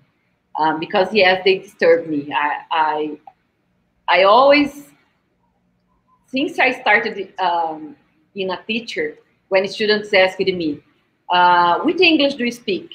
And I use it to say mine. And then they were like, how come? Yes, mine. I'm from a very small city. I've studied with British material with North America with a North American family, and then I went to Canada. So my English is Brazilian, and my English is mine. And I remember that this disturbed many people. Nowadays, it's very common to say that. Yeah. We don't ask. Okay. So this is something that is, is always with me, you know. And then I'm always asking, why can I can I uh, why can't I uh, talk and discuss and dialogue with Brazilian researchers? Why do I get to get researchers from the US or from the Europe? Why but I, you know why. You know why. The answer Yes, is. We Yes, but I want to emphasize that for me, it's very important to discuss with the ones who are here with me, who understand what I feel, what I live, the country that we are, and, and Absolutely. I get that. I think it's an like a good moment when that question comes to reveal the Eurocentrism of the question. You know, reveal the fact that uh, intellectuals from the South are racialized and, and you know and, and localized in a way that so intellectuals of the North are not. So we are replicating the, the, the universality, right? So I think it's a, it's a, an, I'm just saying it's always an interesting opportunity to, you know, go into the into the discussion. You know, what is to decolonize? What is to turn the map around? right. Anna, uh, as you mentioned Marx, Clarissa, just want to provoke you girls a little bit more. She said that Freire was criticized for being Marxist. And then she asked, and what is the problem of being a Marxist? Right. I believe that actually, uh, when people say that uh, they don't like Freire because Freire is Marxist, actually, the idea is, is that, um, well, actually, I feel that people have not read even one nor the other one. This is what I, I think. And uh, the idea that they are saying they disagree is the division the division of class, as if we should have a revolution. You know, I, I, I feel that, Clarissa. I think that this is the point. I have never read Marx, I have never read Freire, but I think that Freire focused too much on class, and I don't want to talk about this, so let's go on. I, I feel that this is the, the point here, the criticism.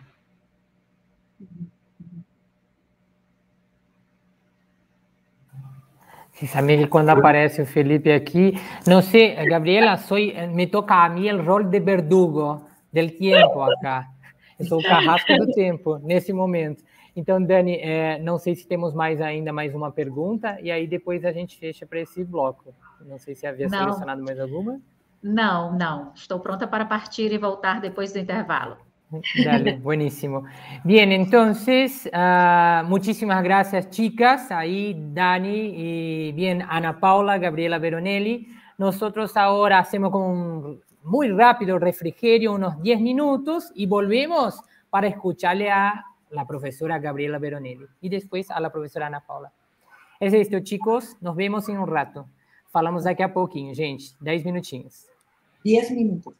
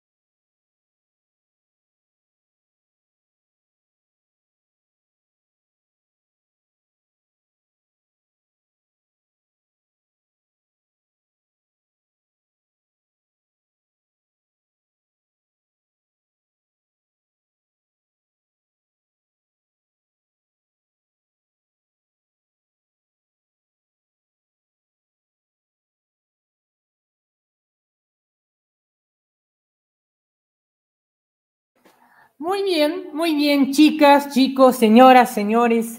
Pessoal, estamos de volta. Já vi pelos comentários no chat que a nossa colega, companheira Camila Caos falou que era o momento da pipoca, né, Camila? Cine Pochoclo, então, tras del Cine Pochoclo, volvemos, volvemos ahora. Es un momento muy especial para mí porque arrancamos, seguimos en castellano. Así que es una alegría invitarle una vez más a la profesora Gabriela Veronelli para su ponencia titulada Hablando en una lengua bífida, repensando el multilingüismo desde un eh, pluralismo ontológico de colonial. Casi un trabalenguas, Veronelli. Profesora Veronelli, por favor, estamos acá para escucharte y será un gustazo. A ver. Casi un trabalenguas, gracias. gracias. Bien, ya tratamos de compartir tus diapositivas. Bueno, cómo no.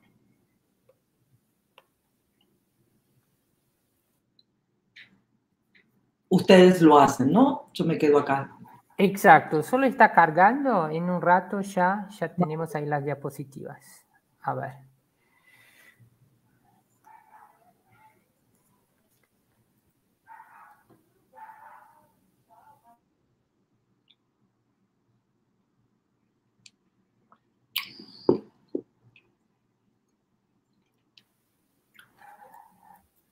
Mientras tanto, solo para dejarlo muy bien arreglado, el título de la, ahí de la ponencia de la profesora es Hablando en una lengua bífida, repensando el multilingüismo desde un pluralismo ontológico decolonial. Sí, ahí va. una vez más, porque por favor, es la emoción, es la emoción, perdóname. es la emoción, igualmente vamos, es, es, es, como se dice en, en inglés, un mouthful, el título de mucho, mucho concepto, pero bueno, vamos a ir desempacando cada cosita a su, debido tiempo.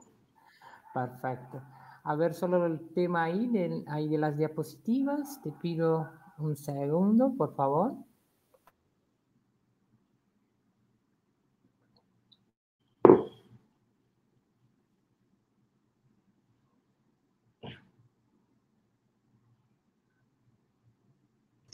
Denise, Pode colocar os slides da Gabriela, por favor. Não, então eu coloco, pode deixar. Espera aí que eu pego lá.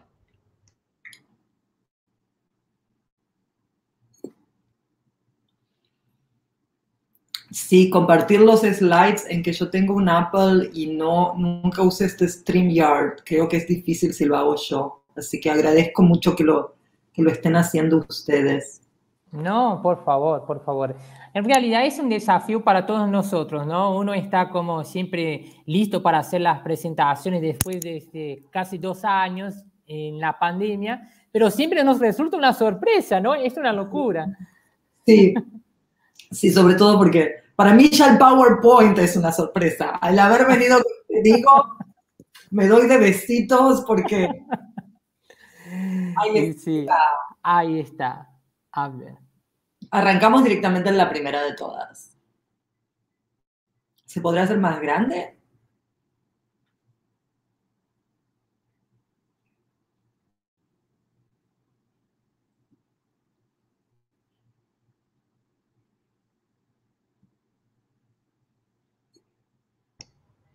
Se ficar maior, aí o único jeito é te tirando da tela, Gabriela. And then we can see you. But I think I think it's okay because people can enlarge their screen on YouTube if they want to. Okay, good, good. I just want to make sure that that you can see it because um, it's it's mostly text, right? Like I don't have images; it's mostly text, so I, I want to make sure it's readable. But if you say it's readable, I'm okay with that. Bien, entonces um, déjenme poner mi reloj para no no pasarme de tiempo. Uh, gracias a los organizadores, les organizadores de DELA, a, a Clarisa Meneses Jordao, Felipe eh, Cerdeira, Ana Paula Beato por el, por el diálogo y a todos quienes han trabajado tan intensamente para hacer este encuentro posible. Soy Gabriela Veronelli, y eh, esta es mi presentación. Quiero empezar con un descargo. Como por ahí ya saben, yo no estoy formada en lingüística y no hablo lingüística con la seguridad y comodidad de quienes la estudian y la ejercitan. A la vez, me encanta hablar con lingüistas, pero siempre siento esta necesidad de decir que no hablo lingüística fluidamente, con, digamos, maestría. Algo similar me pasa en una fiesta o en una milonga cuando alguien me saca a bailar el tango. Soy argentina, entonces debo saber bailar el tango, pero no lo sé. Entonces tengo esa urgencia de hacer saber mi, falta de, de, fluidez, ¿no? Como, como pidiendo paciencia, anticipando la ignorancia que voy a exponer, eh, los errores que voy a cometer en el caso de bailar el tango, las veces que voy a pisar en el pie a la persona con la que estoy bailando. Pero también entiendo que esa urgencia de eh, esa necesidad es una necesidad que domina nuestro pensamiento y que estamos urgidos por el peso de las disciplinas a hablar en términos disciplinarios. A la vez es menester notar que esta urgencia en encasillarnos inmediatamente en, eh, eh, sí, en, disciplinas, en categorías, regula nuestra experiencia, ¿no? Y, nos, y realmente nos apresa. Eh, y esa es una de las cosas de las que voy a hablar hoy, de, esa prisión de la modernidad, colonialidad y de cómo salir de esa prisión, si bien en la presentación en sí no la voy a llamar de esa manera. Eh, por otra parte, para terminar este primer descargo, me, me, me, encanta hablar con lingüistas críticos y como ustedes a Candela, ¿no? Me encanta todavía más porque no me siento tan obligada, ¿sí? Por ahí siento la necesidad, pero no me siento obligada a decir que no hablo lingüística, porque sé que en este espacio hablar lingüística es una actividad y una posibilidad que está cuestionada desde el vamos. Segundo descargo. Elegí como lengua de mi presentación, como ya están escuchando, el castellano, pero pudiera haber elegido el inglés. De hecho, anticipo que mi presentación voy a moverme como lo hago en la vida cotidiana, como, como inmigrante en los Estados Unidos, eh, eh, entre inglés y castellano, back and forth, English and Spanish. Ah, y acá viene mi descargo. Ah, coincido con lo que se planteó el primer día eh, por Walter Miñolo sobre el usar el inglés. Usar eh, eh, es la palabra que le enfatizó, ¿no? El usar la lengua en vez de ser usado por el inglés. Usar la lengua de la globalización estratégicamente, como también argumenta eh, Gayatri Spivak cuando dice que se puede usar el inglés estratégicamente para llegar a una audiencia más amplia en los esfuerzos transnacionales de movilización anticolonial y antirracista. También coincido con la visión geopolítica que ese primer día se estaba remarcando del inglés. ¿sí? Entonces el inglés como la lengua de Estados Unidos e Inglaterra, pero también el inglés como la lengua de Jamaica, de Nigeria, de Trinidad o de la India.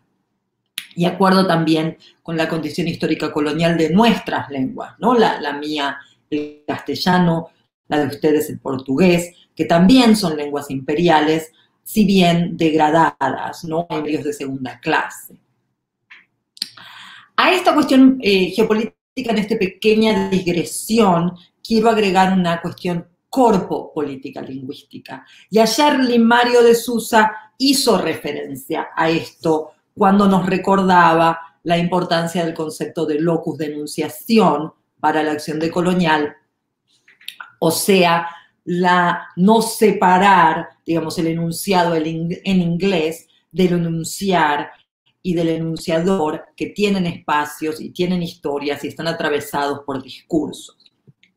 Entonces también coincido con eso que decía Lin Mario, Pero además quiero traer de, de esta cuestión del locus de enunciación, se me ocurre otra cuestión que también puede pensarse corpopolíticamente y que es la que se hace manifiesta en donde se marcan los acentos que una tiene. ¿sí? Me refiero acá al que yo hablo el inglés con acento.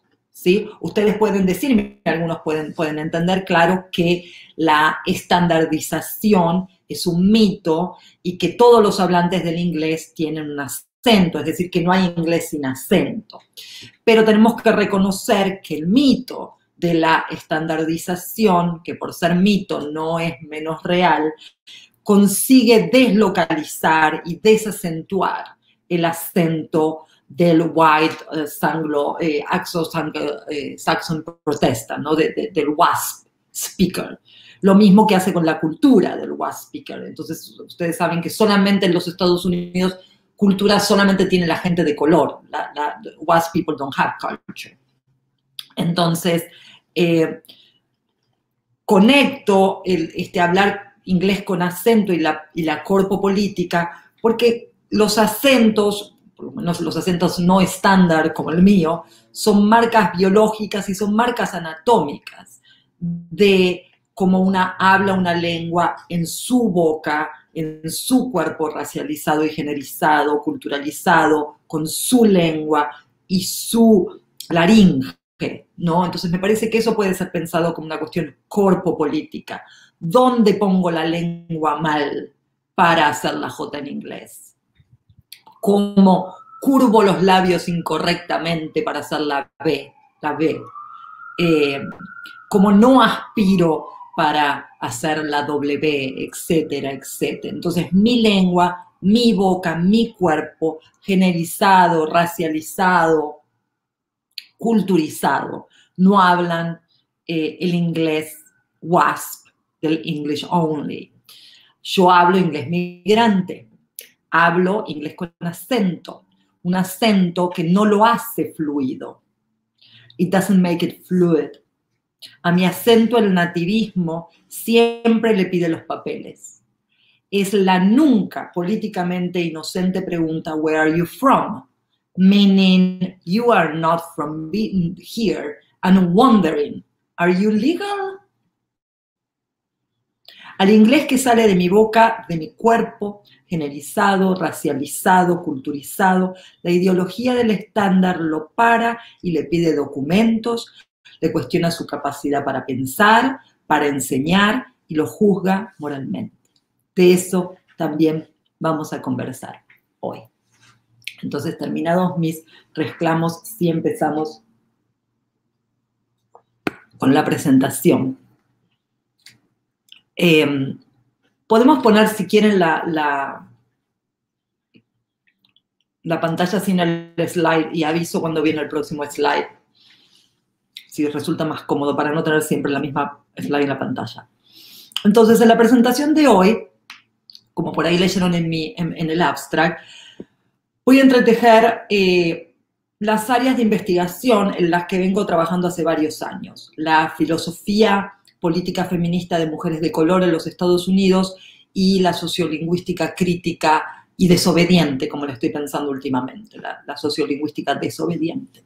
En particular, quiero presentarles una conexión entre el pluralismo ontológico de María Lugones con el proyecto de repensar el multilingüismo en promoción de justicia epistémica y reconstitución de lo comunal. El rol del multilingüismo en luchar por futuros decoloniales, como dicen en el abstracto. En el, sí. Este es un trabajo en progreso eh, que recién, recién empieza que recién empieza a depositarse en el papel, tan recién que habría que ponerle un cartelito que diga, no, pintura fresca, mejor no tocar. Pero bueno, sí vamos a tocarlo, sí vamos a meterle mano, eh, así que les agradezco anticipadamente sus preguntas, sus comentarios, sus digresiones y espero que lo que voy a presentar les resulte provocativo. Eh, la motivación por hacer esta conexión entre la filosofía de Lugones y, eh, politizar el, el, multilingüismo, salió de una conversación en la que eh, estoy involucrada en el último año, desde que Lin Mario de Sousa, junto a Quentin Williams y Chris Stroud, me invitaran a ser parte del think tank sobre multilingüismo, ciudadanía lingüística y vulnerabilidad en Sudáfrica y en Brasil. Otros lingüistas desobedientes que son parte de ese grupo estuvieron participando en DELA, como eh, Juliana Sergio Martínez. También ella eh, y, otros compañeros están en este proyecto. También es vital eh, para mí la conversación que estuve teniendo en el último año con Ofelia García y su grupo de sociolingüística crítica de CUNY. Estas conversaciones y la literatura en la que, a la que me fueron llevando, eh, a veces directamente, a veces mi propia investigación, me presentaron con preguntas nuevas y radicales. Y una de las preguntas en las que estuve trabajando empieza a partir de las reflexiones de Ángel Lin sobre multilingüismo egalitario en un trabajo que le escribe en el 2015. Próxima slide, por favor. Si entendemos, esta no es la pregunta de Lin, si es mi manera de eh, eh, parafrasear la pregunta de, de Lin. Si entendemos el multilingüismo y la educación bilingüe como respuestas a la condición colonial humana en el mundo contemporáneo y en los últimos 500 años. ¿Qué tipo de multilingüismo queremos en un mundo global? Obviamente, no estamos diciendo acá que el multilingüismo aparece recién con la expansión colonial occidental, ¿no? No, no voy a entrar en esta discusión, pero hay evidencia suficiente para sostener la hipótesis de que el multilingüismo siempre ha sido una forma de vida en muchos lugares y culturas de la historia de la humanidad. Lo que esta pregunta trae a consideración es el multilingüismo como respuesta a la condición colonial, como respuesta a la colonialidad. Y nos pregunta, al preguntarnos qué multilingüismo queremos, nos recuerda la pregunta qué son respuestas en plural.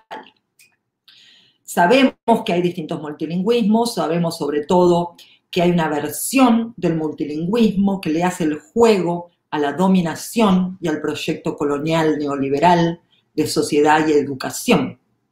Lo que quiero contribuir a partir de la filosofía política de Lugones es a entender un multilingüismo que es resistente y enfocarnos en prácticas multilingües resistentes que rebaten el orden multilingüístico, el orden multilingüístico dominante.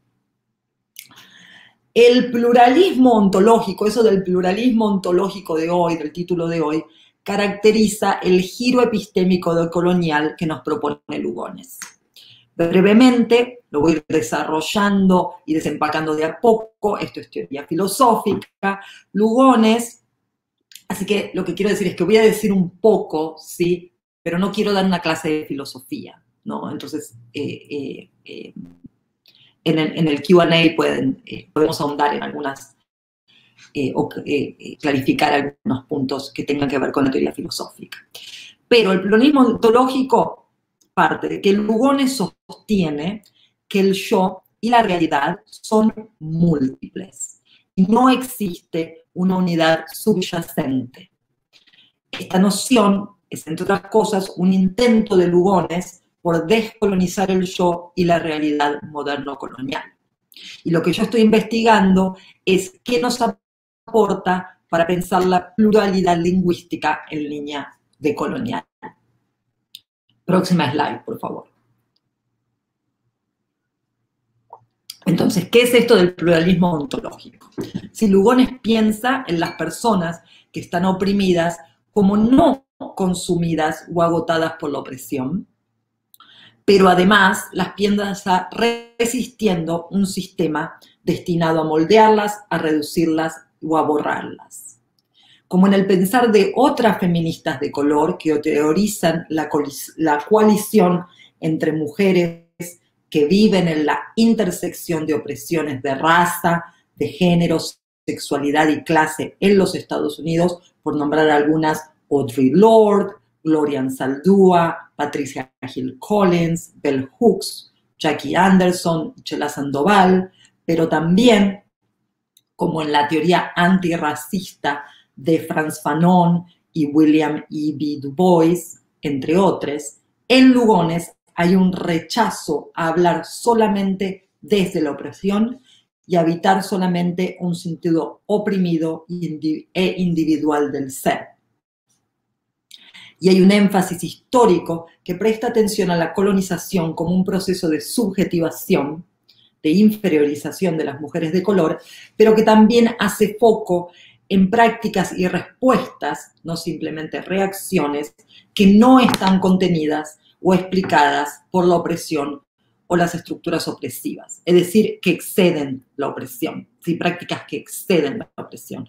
Un ejemplo de este rechazo al sentido unidireccional del ser y de la realidad bajo la opresión en el pensamiento y la práctica de Lugones es que ella nunca dice soy oprimida, sino estoy siendo oprimida resistiendo. Sí, pueden ver en el slide cómo ella lo escribe en su eh, libro ¿no? y, en, su trabajo. Lo marca con esas dos flechas, esa flecha de doble vía entre estoy siendo oprimida, resistiendo, para indicar y buscar esa posibilidad de acceso en la respuesta del sujeto siendo oprimido. De esta manera, Lungones nos invita a ver, además de dos yoes, el siendo oprimido, el resistiendo, a ver al menos dos realidades. Una de ellas tiene la lógica de la resistencia y la transformación, la otra tiene la lógica de la opresión.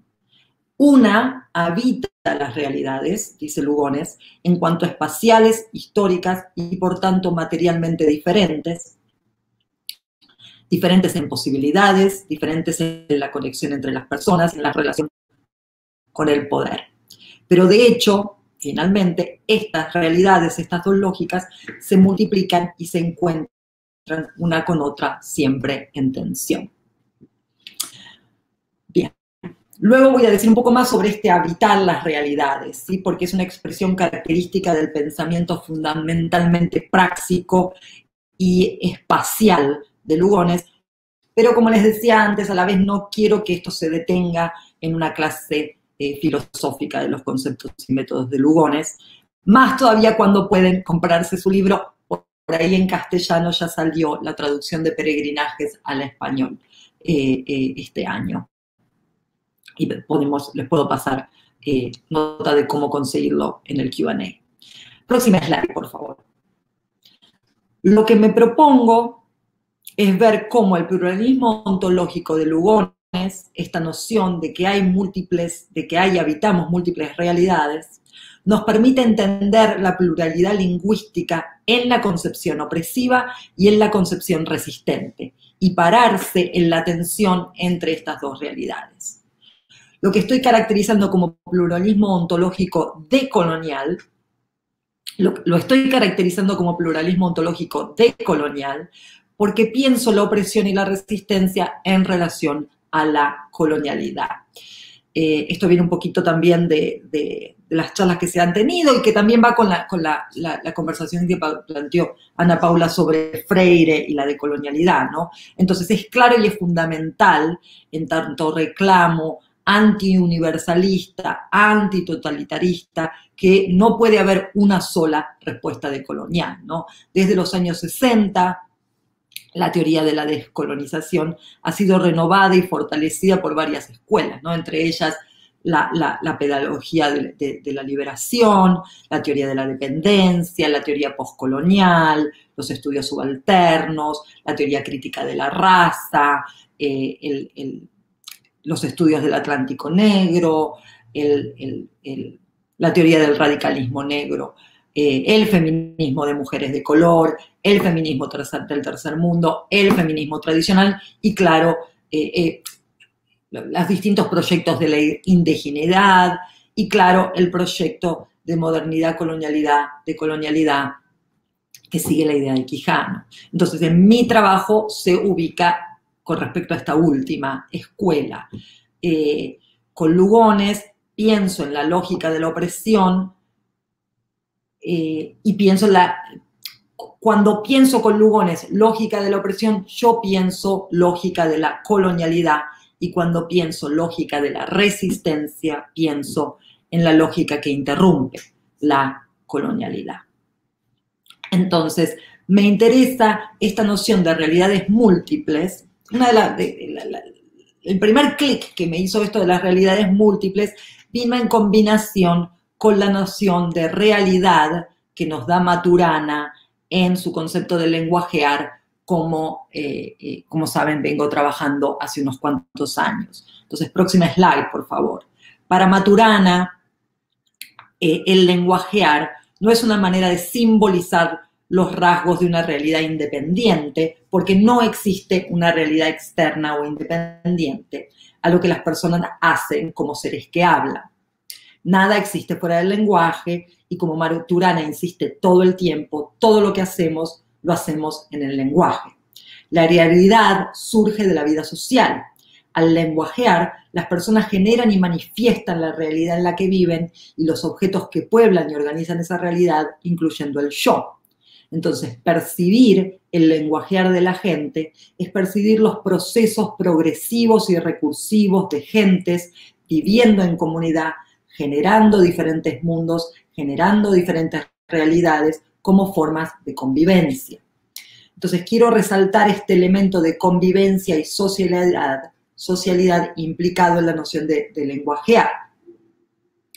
Eh, si uno se fija, eh, quiero recordarlo, ¿no? porque es algo que ya, se ha venido discutiendo, si uno se fija en la vida cotidiana, dice eh, Maturana, se puede dar cuenta que el lenguaje es un modo de convivir en coordinación de conductas, pero no mera coordinación de conductas, sino lo que él llama una coordinación de coordinación de conductas. Vivimos inmersos en el lenguaje, vivimos en coordinaciones de coordinaciones de conductas que surgen de la convivencia y por lo tanto son consensuales. Fin de cuota. Yo interpreto esta, esta, cosa tan densa que, dice eh, eh, Maturana en que la primera coordinación crea lo que podemos llamar un entre nos. Esto es un entre nosotros que aún no es social, pero sino es más bien una llamada a la socialidad, que todavía no tiene contenido, todavía no tiene dirección, incluso no tiene forma. De hecho, contenido, dirección y forma son en el segundo momento, ¿sí? en la coordinación de coordinación. Pero me interesa remarcar esta inseparabilidad entre maneras de lenguajear, socialidad y maneras de convivir, porque es ahí donde podemos empezar a comprender la diferencia ontológica de las lenguas y podemos conectar esta pluralidad ontológica con una pluralidad lingüística. Eh, entonces, ver muchas lenguas en acción revela la existencia de varias lógicas, tecnologías y estrategias que le dan sentido a lo social, le dan sentido, dirección, forma a la socialidad y a las relaciones sociales, tanto materiales como discursivamente. Entonces, parados desde esta conexión entre lenguajear, realidad, socialidad, nos coloca en una posición muy diferente para analizar la pluralidad lingüística y qué multilingüismo queremos. Ahora, finalmente, eh, eh, yo estoy usando la noción de pluralismo ontológico de Lugones, que no es una noción de pluralismo ontológico de Maturana. No nos vamos a poner en esa discusión, pero para mí, yo estoy usando, disculpen, se me está acabando la batería, eh, estoy usando esta noción porque me parece, siguiente slide, por favor, que eh, la noción de pluralismo ontológico de Lugones contribuye a esta discusión sobre qué multilingüismo queremos, multilingüismo queremos, es que nos posiciona en la tensión entre dos lógicas, la lógica de la opresión y de la colonialidad del lenguaje, y la lógica de la resistencia y de la descolonialidad y nos permiten reconceptualizar la pluralidad lingüística desde esa apertura. Es importante resaltar que ver que hay una concepción de la pluralidad lingüística que es opresiva, ¿sí? el, notar que hay, eh, el verla como opresiva es una observación que solo puede hacerse desde la lógica de la resistencia. ¿no? Eso es importante notarlo porque la opresión no ve opresión, ¿sí? la, opresión es naturalizada, es el status quo, eh, eh, no puede verse como opresora. Entonces solamente se puede ver la opresión desde la resistencia. Lo que sigue a continuación, entonces, ya pasamos a la segunda parte del trabajo, son los primeros pasos, los chiquitos pasos que he dado en pensar el multilingüismo desde esta apertura lógica y algunos de los conceptos y argumentos que Lugones aporta para ello. Entonces, comencemos entonces por eh, eh, develar la lógica de la opresión en un multilingüismo concebido desde la colonialidad del lenguaje. No voy a desarrollar mucho acá mi idea de colonialidad del lenguaje, eh, podemos luego discutirla en detalle durante las preguntas y las respuestas, pero digamos brevemente en este momento que es posible pensar que los ideólogos de la lengua del siglo XVI pensaban que había una especie de cosidad de la lengua, así que la lengua era una cosa. Creían que había una entidad llamada español y que podía ser descripta y mapeada. Además, podemos aventurarnos a decir que esta presuposición de cosidad fue luego prescrita en las lenguas de las poblaciones que colonizaron. Es decir, que Tenguer, por ejemplo, algo llamado quechua, una unidad quechua, es, se puede pensar en sí mismo como una invención colonial. Además, es posible vincular esta cualidad de la filosofía lingüística renacentista a una lógica de significado trascendental, universal, no contradictoria y transparente, que preexiste a las formas de usar una lengua, cualquiera que sea y donde sea. Sí, la idea natural del significado. Entonces, la concepción colonial de la lengua no muestra de esta manera rastros de las interacciones altamente políticas que configuran y negocian el significado, ni de la política de formación de significado. También podemos decir que en esta concepción apolítica las interacciones lingüísticas son pensadas abstractamente, lo que desconecta y deslocaliza al hablante de toda relación lingüística con la historia de la lengua. Paralelamente a esa abstracción, a esa abstracción hace posible reproducir eh, la creencia, ¿sí? el, mito, eh, el mito de nuevo que no es mito, que es real, de un hablante normativo, ¿sí? Y de una manera correcta de hablar la lengua. Lo que antes un poquito hablábamos con esto del mito de, la lengua estándar, ¿no?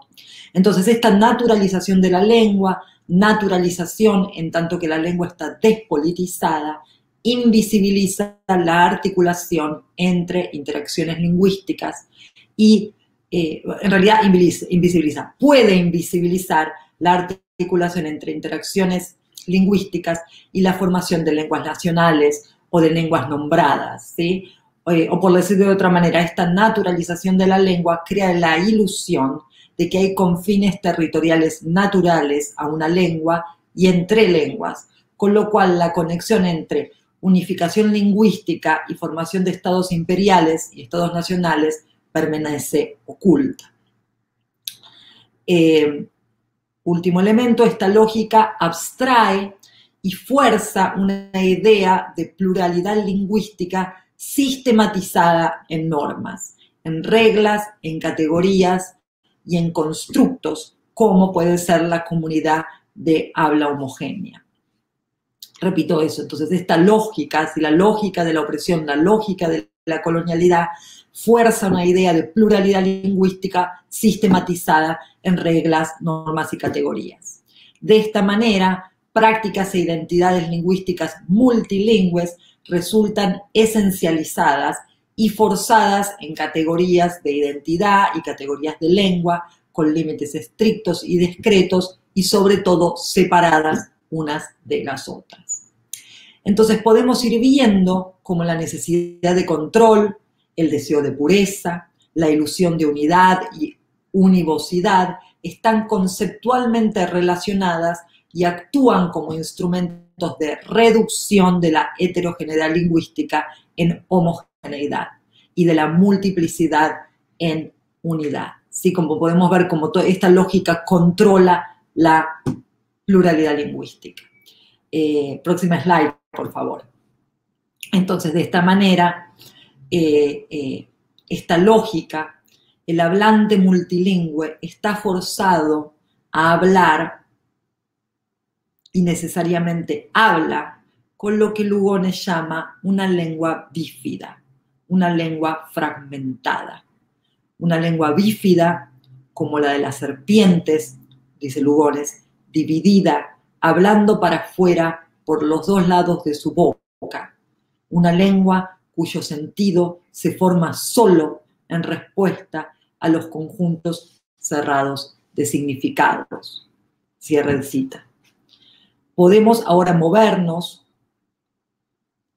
¿sí? entonces tenemos la lengua bífida, por eso el título de mi eh, eh, ponencia. ¿sí? Eh, el hablar una lengua bífida vendría a ser una manera de, una metáfora para entender un multilingüismo, un multilingüismo que le hace el juego a la colonialidad del lenguaje.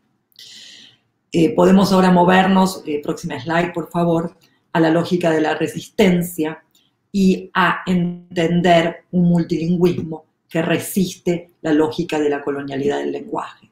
La primera pregunta que me hago y que me parece es importante, eh, es, interesante para discutir, es qué resiste el montelingüismo.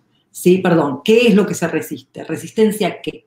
¿Qué resiste el multilingüismo? Entonces, antes que nada, es una resistencia al monolingüismo, ¿sí? Al, paradigma de un territorio, una identidad, una lengua, del que hablamos un poquito al, principio eh, de la conversación, ¿sí? Entonces, eh, ese paradigma 111 el multilingüismo lo resiste.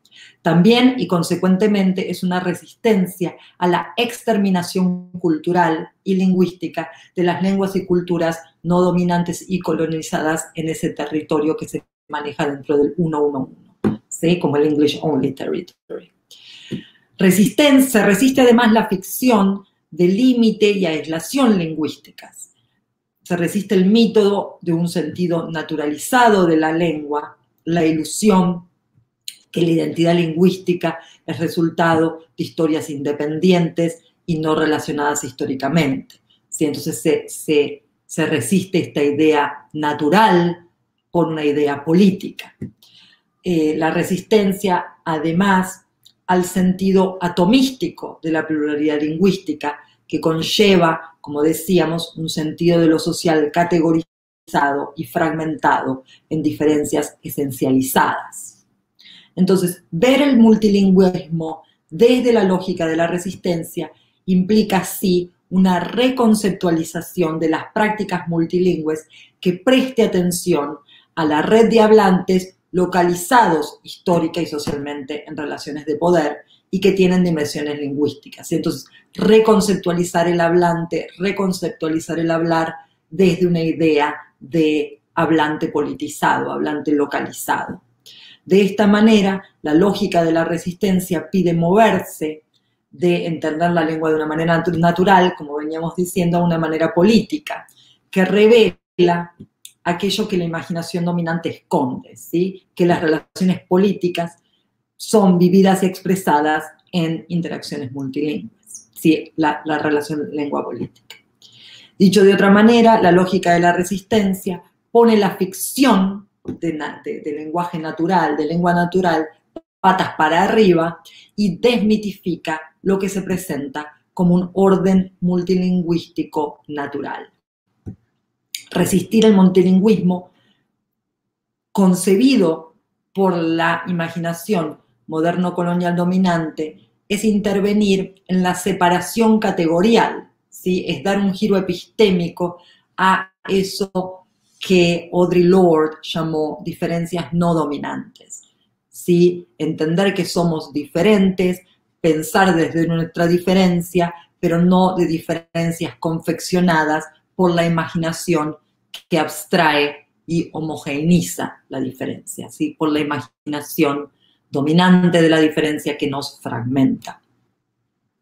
Sugiero eh, eh, pensar finalmente este multilingüismo, multilingüismo desde el pluralismo ontológico de Lugones como un viajar mundos lingüísticamente. Viajar mundos es un concepto y método central en Lugones.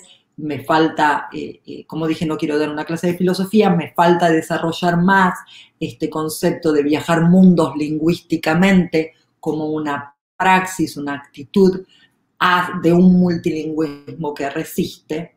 Pero estas son algunas de las cualidades que les puedo contar hasta el momento. Antes que nada, se trata de una actitud al escuchar multilingüe. ¿sí? En, nuestras conversaciones, eh, en una de las primeras conversaciones que tuvimos en el, think tank sobre eh, multilingualism, uh, linguistic citizenship and vulnerability, Chris Stroud brought this question. And for me, it was like, ¡pam! ¿sí? Y él preguntó, how do we change the structure of listening? see how do we engage with noise see with, with, with that which the coloniality of language calls noise see eh, in a disobedient way ¿sí? entonces para mí esa pregunta de cómo escuchar es, es, es, es eh, central a eh, eh, concebir y practicar un multilingüismo desde la resistencia. ¿sí? Entonces, con Lugones, esta actitud de escuchar multilingüe nos dice, conlleva una voluntad y una capacidad de adentrarse en el mundo, realidad, lenguajear del otro y en su negociación de significados. Es, por eso escuchar es viajar al mundo de la otra. Es también un escuchar que renuncia a la arrogancia de la certeza, la propiedad y el dominio y cede a entender por aproximaciones tanteando, ¿sí? Y, esta es la manera preciosa que tiene Lugones de describir este tanteando.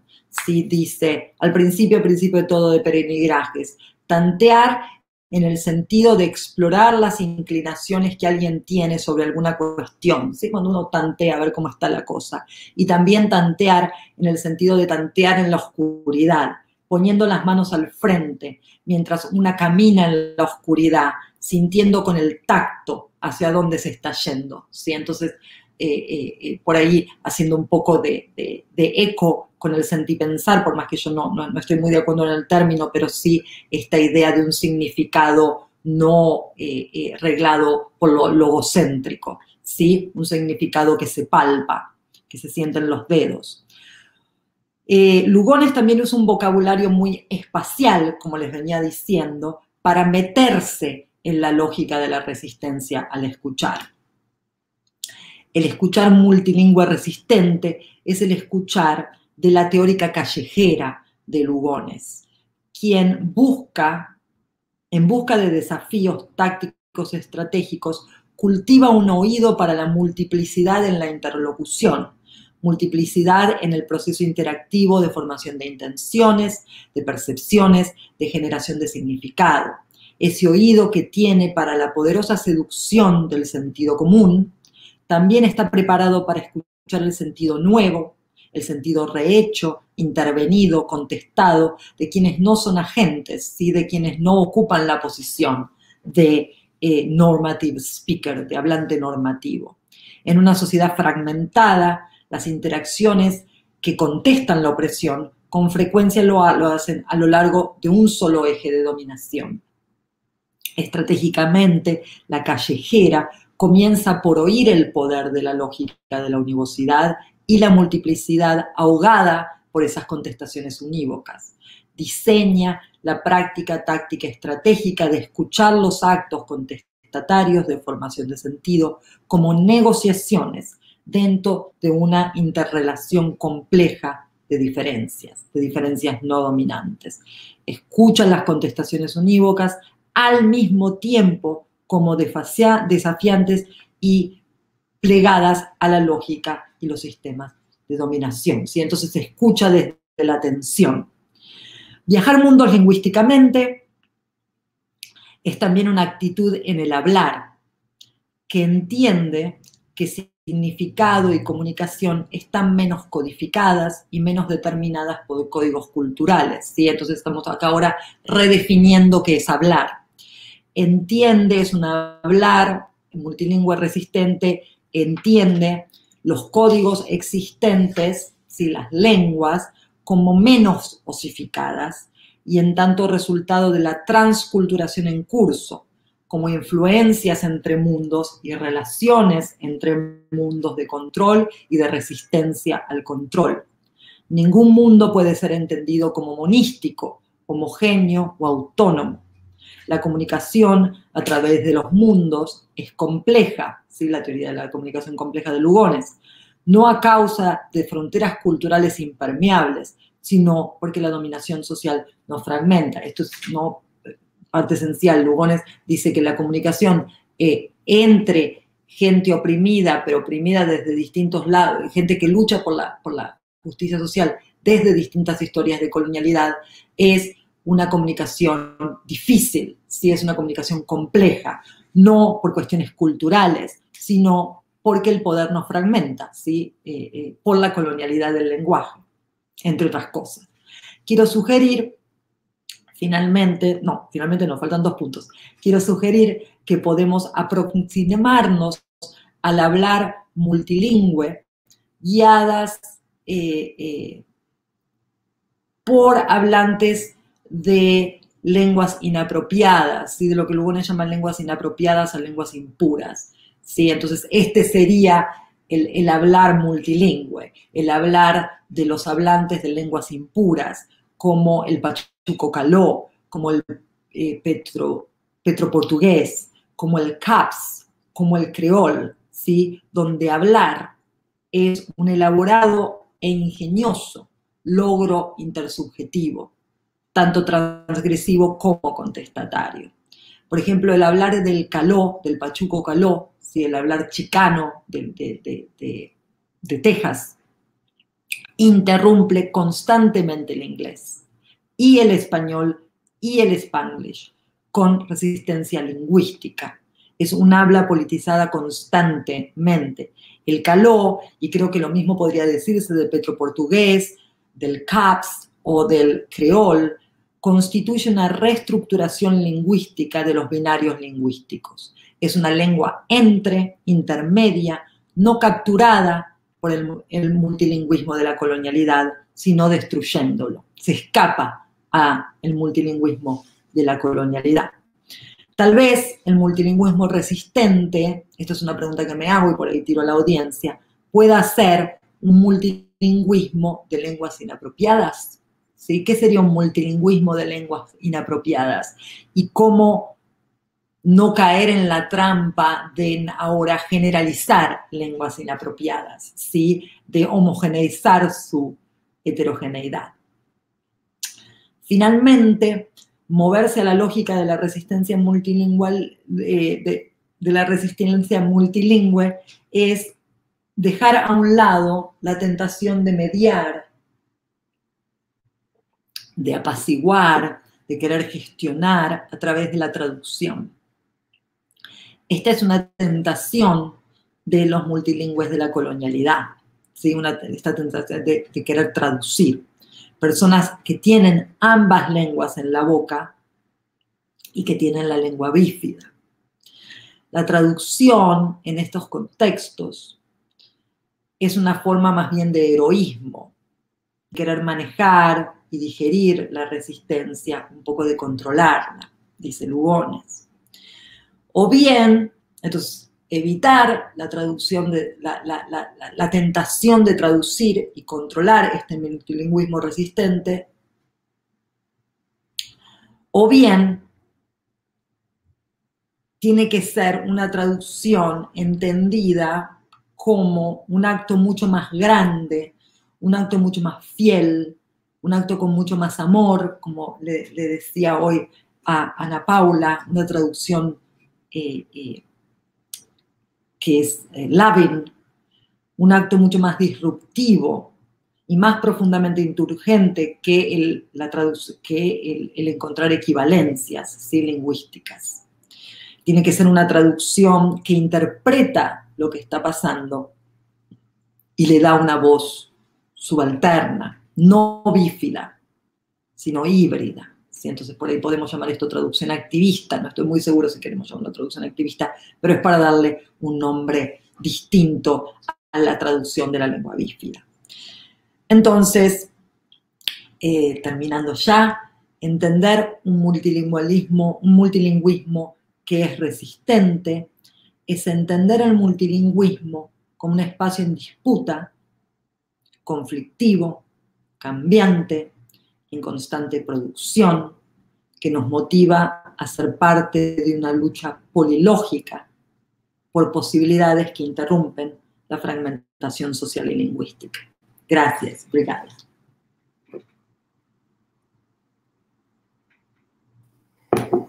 Bien, muchísimas gracias, profesora Gabriela Veronelli. Sin lugar a dudas, eh, mientras estabas hablando ahí, yo estaba como apuntando las cosas y pensando ahí un, par de preguntas para vos acerca de esto de la metáfora de la lengua bífida, pero antes hay que tratar de invitarle a la profesora Ana Paula, que seguro tiene ahí muchas preguntas igual para vos, así que salgo y ya vuelvo, las dejo ahí un poco. Gracias, Felipe.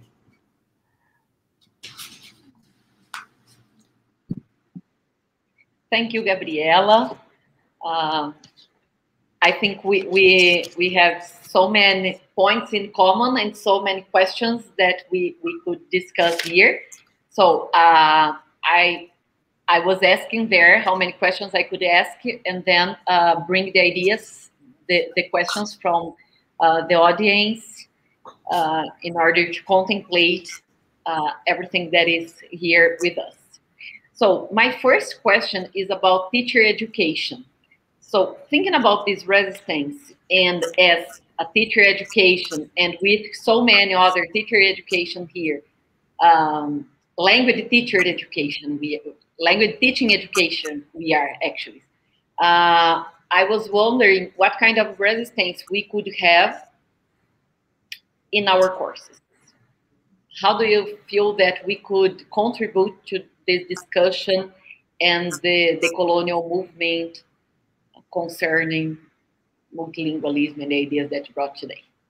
Thank you, uh, uh, Ana Paula, for that question. I think it's an open question for us to to to begin to answer. Uh, we are slowly actually working on this question also in a in a in a volume that with with Clarissa that we are planning to you know try to put together for next year that is specifically about uh, uh, language teaching education. Uh, uh, from what I said today, yes, I think that what Lugones gives us, what I was trying to bring today, is when we think of resistance we must think it uh, uh, from that tension with oppression, right? Like, so uh, there's no one thing that is resistance and one attitude completely different, com- you know, that is going to be oppressive, right? Like, one same behavior could be read differently from oppression and from resistance. That's what Lugones is teaching us, right? That realities are multiple, right? We are allowed different readings from these different realities. So uh, I don't think that resistance in, in, in pedagogy and in language teaching pedagogy has to do with really uh, want an utopic uh, uh, uh change, you know, uh, because we teach in colonial institutions. We know uh, our work is completely, maybe not in our classrooms, that's beautiful, right? Like because our classes are our spaces, so we can decolonize them more easily. But the institution is difficult, right? Like, and, and, and as we were saying, uh, I think it was it was Mignola that was saying like why the students go to those classes, all that enters into the logic of oppression being very present, right? Like, so it's not easy to escape it. But uh, and I don't think it's about escaping it, but understanding that it's not exhausted. It's not exhausting.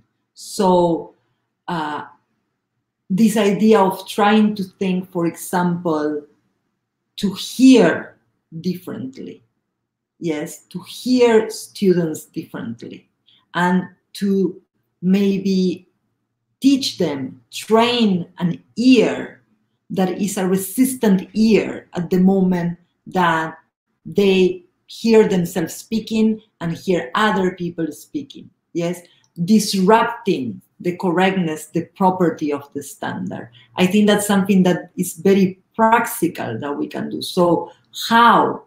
Uh, I am not a language teacher. I teach Spanish during my grad school in Binghamton University, and, and I will say that I was not resistant at all. they give me the book and I taught it, punto.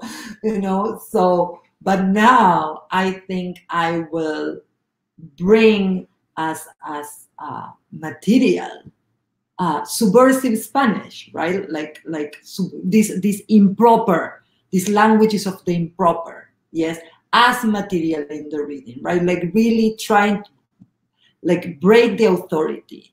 Uh, nosotros en español tenemos esta frase, sacarle la lengua al garante, ¿no? So, you stick out your tongue, but como en español se dice sacar la lengua, también quiere decir como sacársela, you know, like Uh, uh, you can uh, uh, remove, you know, stick the tongue out, but also remove the tongue of who has the authority. Yes, I don't know, in, in, in, in when it comes to Spanish, that used to be an Instituto Cervantes. I don't know if the Instituto Cervantes is the institution that controls the teaching of Spanish in, in Brazil, as it used to be like 20 years ago. If that's the case, it is.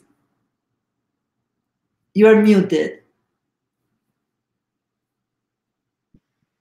I'm not a Spanish teacher, but I, I know that it has an important role. Of course, you know, so I mean, look at the you you can see the coloniality of that institution, right? So uh, again, I think it's not a matter of rejecting like and trying to invent things from the ground.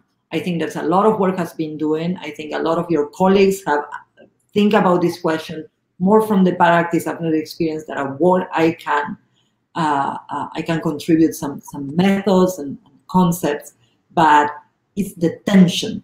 Think of the tension of oppression and resistance, and not just resistance. As oppressive, the oppression was completely uh, exhausting. So you, you cannot do anything, right? Like you can really uh, decolonize material and decolonize the classrooms.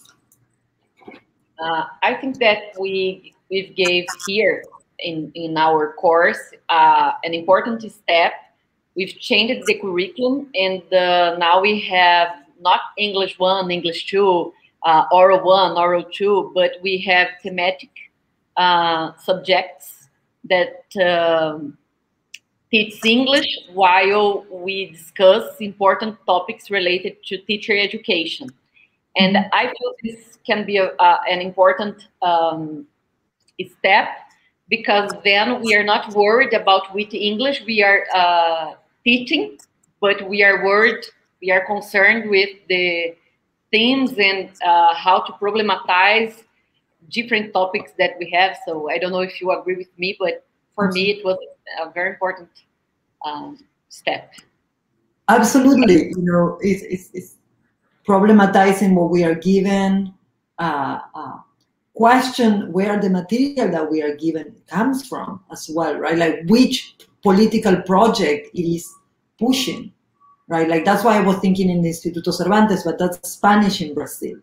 But it says a lot, right? Like, for example, Spanish in Brazil was taught uh, from Spain, where, you know, people in Brazil are not going to be speaking with people in Spain. They're going to be speaking with Latin Americans, right? Like, but the Spanish of Latin America or Spanish of Argentina was, you know, uh, considered of a second class as, as, as language to speak, right? Like, so uh, that we can criticize and we can undo in our classes, right? In the material that we think. Uh, I also like that dictionaries a lot, right? Like what dictionary do we use? Uh, uh, and therefore, of course, el RAE. See, again, I'm, I'm, just thinking of Spanish because that's my experience. Yeah. Uh, Spanish because that's my experience. But there are other dictionaries, you know, and dictionaries are very interesting in their introduction, in their understanding of the language. Uh, so it's not only using the dictionary, but you know, like questioning what a dictionary is, you know, from um, uh, trying to resist. I mean, having consciousness of, of the, the, the coloniality, like like Lynn Mario was saying, right? Like yes, acknowledge it, but also looking to interrupt it. Right. Uh, another question is about teacher education in, um, how do you say that? Ensino fundamental. Uh, and then I was worried, I was wondering about this, uh, if we could resist. I don't know if you know that, but in Brazil, uh, nowadays, we have a document that imposes English as the language to be taught uh, as an additional language, a foreign language. Mm-hmm. So the other languages are trying to resist, but they are not, um, well, it's not been easy to resist. So English is the, the language to be taught. Uh, and, and then I, I was thinking about this. If one one way of resisting is it my internet? That no. Is it okay? Can you yes. hear me? Yes. yes. Okay. Uh, I was wondering if uh, a way to resist could be uh, bringing materials from different languages and then uh, teaching not only English, but you know, like reading a poem in Spanish and then discussing in English, or teaching something in English and then discussing in uh, French uh, as a way of resist to this uh, law that imposes a language just Absolutely. because someone thought that it would be important for every Brazilian student. Absolutely, and I think they are also like hybrid languages, right? Like uh, uh, because if you you go with Spanglish, right? Like I mean, uh, Spanglish depend what definition of Spanglish you look at, but they are you know the the the more conservative definition, Spanglish is a dialect of English, right?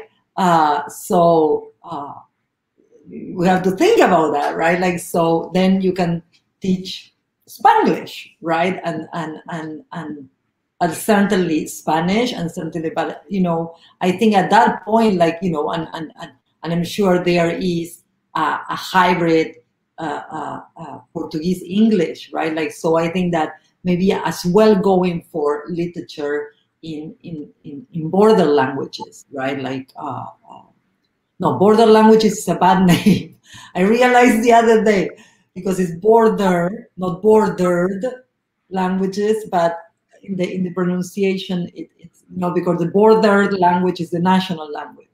So I'm meaning languages of the front of the front the, the borderlands you know like hybrid languages language de frontera you know uh, portuñol uh, spanglish as as languages that can also be used in that sense. And some native language i think. Absolutely. Yeah no i was bringing i was it could be i was bringing specifically this this quality of the border language in terms of they are because somebody may say it's like why are you using spanish? Why are you using quechua in an english class?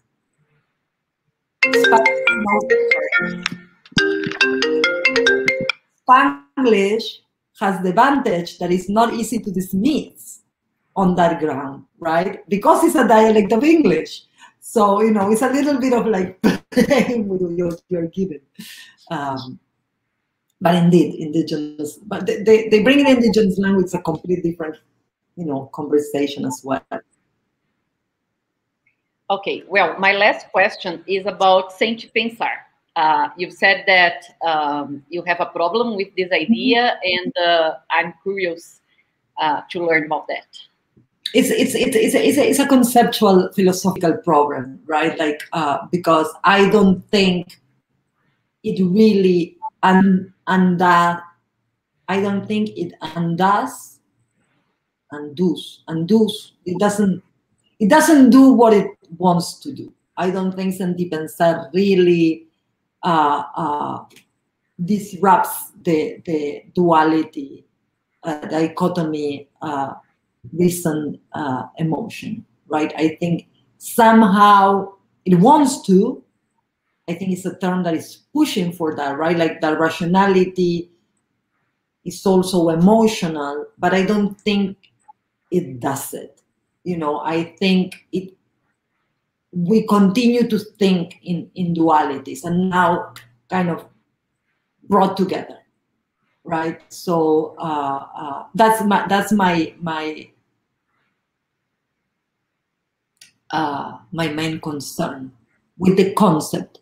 No no con la política epistémica de colonial que propone sí no con un pensar que no está atado a ninguna de las cualidades de la racionalidad moderna, ¿sí? Eh, una racionalidad eh, eh, sin emoción, sin cuerpo, ¿sí? Todo los, los abstracta, universal. entiendo que usar sentir pensar es interrumpir ese sentido de racionalidad. Es el término que no me convence. A mí, a mí. Ah, pero pero eh, eh, se usa y, eso, entiendo cómo es bonito, ¿sí? Hay, hay un término eh, mexicano que es el saber acorazonado, que ese también es bonito, ¿no? Saber acorazonado, ¿sí? un saber que viene del corazón y no de la cabeza, ¿no? también es, un término bonito. Ah, y ese por ahí tiene un poquito más de, efecto en, no eso, me parece que Sentir Pensar nos deja trabados en la dualidad. Okay. Es como que le pone Thank un guion, you know? Sí. Yeah, yeah. Thank you. Thank you very much. No, okay, so Dani, yes. Sorry, Felipe. No, no, no, por favor, por favor, por favor, Ana, por favor. Bien, chicas, estamos acá mientras están hablando, estamos ahí en el chat y hablando muchísimo, muchas cosas. Yo trato de invitarle a Daniele ahora y vamos para lo nuestro, para el chat. En este momento, translengua acá, en lengua bífida, vamos a hacerlo acá, Veronelli, en este momento. Entonces, uh, Dani, eh, por favor, as nossas perguntas e só para avisar, nós temos mais ou menos uns 15 minutos de perguntas, justamente para que a gente possa 15, é, mais ou menos 15 minutos para que a gente possa depois fazer o encerramento deste dessa fala de hoje, tá bom? Dani, com você. Então, vamos lá. A Poliana, professora Gabriela, ela, ela, traz essa pergunta. A imposição do inglês no ensino regular das escolas do Brasil é uma colonialidade da linguagem? Como você observa essa questão, inclusive em outros países? Gabriela, te hago ahí la pregunta solo en castellano para que te quede ahí como mejor, ¿no? Uh, la profesora Poliana Milan te pregunta si esto de la imposición del inglés en la secundaria acá en Brasil, si te parece como una, suerte de colonialidad del lenguaje y si lo observas vos, por ejemplo, la misma situación en otros países. Mm. La segunda parte no, no, no, no, lo sé. Sí, de nuevo, la, la, enseñanza de lengua no es, no, es mi, no es mi actividad, pero no me extrañaría en Colombia, creo. Eh, eh, por ahí si, si está Carmen en la audiencia puede decirnos un poquito cómo es la enseñanza en inglés en Colombia. Pero a ver, eh, ¿es una, una colonialidad del lenguaje? Sí, tiene muchos aspectos de la colonialidad del lenguaje, ¿no? Tiene, tiene una, una, idea de, de, jerarquía lingüística, ¿sí? donde, el, donde el inglés es la, la, primera lengua, ¿sí? donde ya, ya ha pasado, en un momento de, en, el, en el iluminismo, las lenguas del saber eran eh, eh, el, inglés, el alemán y el francés, que habían descalificado al portugués, italiano y español como lenguas imperiales y con el giro imperial. Eh, y el, español, el, inglés y el italiano empezaron a resultar más lenguas de la literatura y de la poesía. ¿Sí? Ahora el inglés mm, es como una...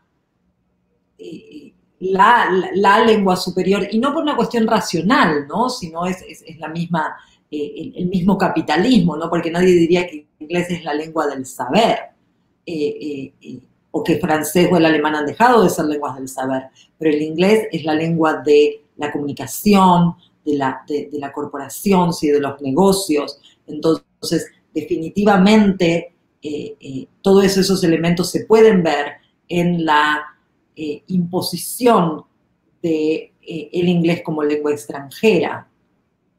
Eh, entonces, sí, hay como una especie de, de, Ángel Lin lo llama un bilingüismo jerarquizado, contando cómo es la situación de la imposición de inglés en Singapur y en Hong Kong. Poliana Milán, contentiza además de pasarte el artículo, ¿sí? pero con lo que tiene que ver con otros elementos de la colonialidad del lenguaje, eh,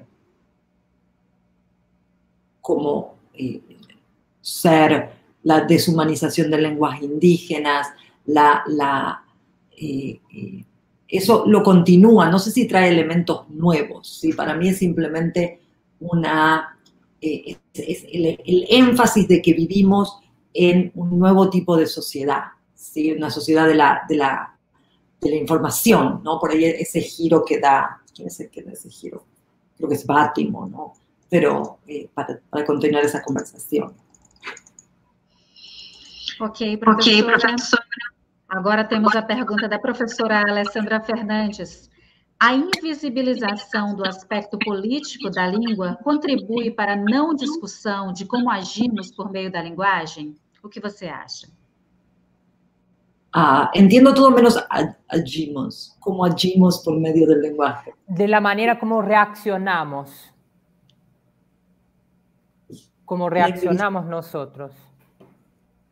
En la no discusión, de que no se discuta. Traducime la pregunta, Felipe, porque estoy tratando de entenderla. La, la, pregunta, la pregunta de la profesora Alessandra es si te parece, si les parece, en realidad es una pregunta para vos y para Ana Paula, si esto de la invisibilización del aspecto político de la lengua, si de alguna manera contribuye para esto de la no discusión de cómo vamos a reaccionar por medio y con la ayuda del lenguaje.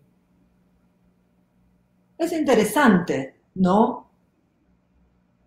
A ver, no, no lo he pensado. Lo primero, lo primero que se me ocurre es, porque acá Alessandra entiendo que está yendo, de nuevo, atrayendo lo emocional en el lenguaje, tal vez, ¿no? Entonces, eh, eso para las mujeres y los seres con cuerpos feminizados, eh, por ahí tienen ese, una noción de eso, ¿no? Cuando una es...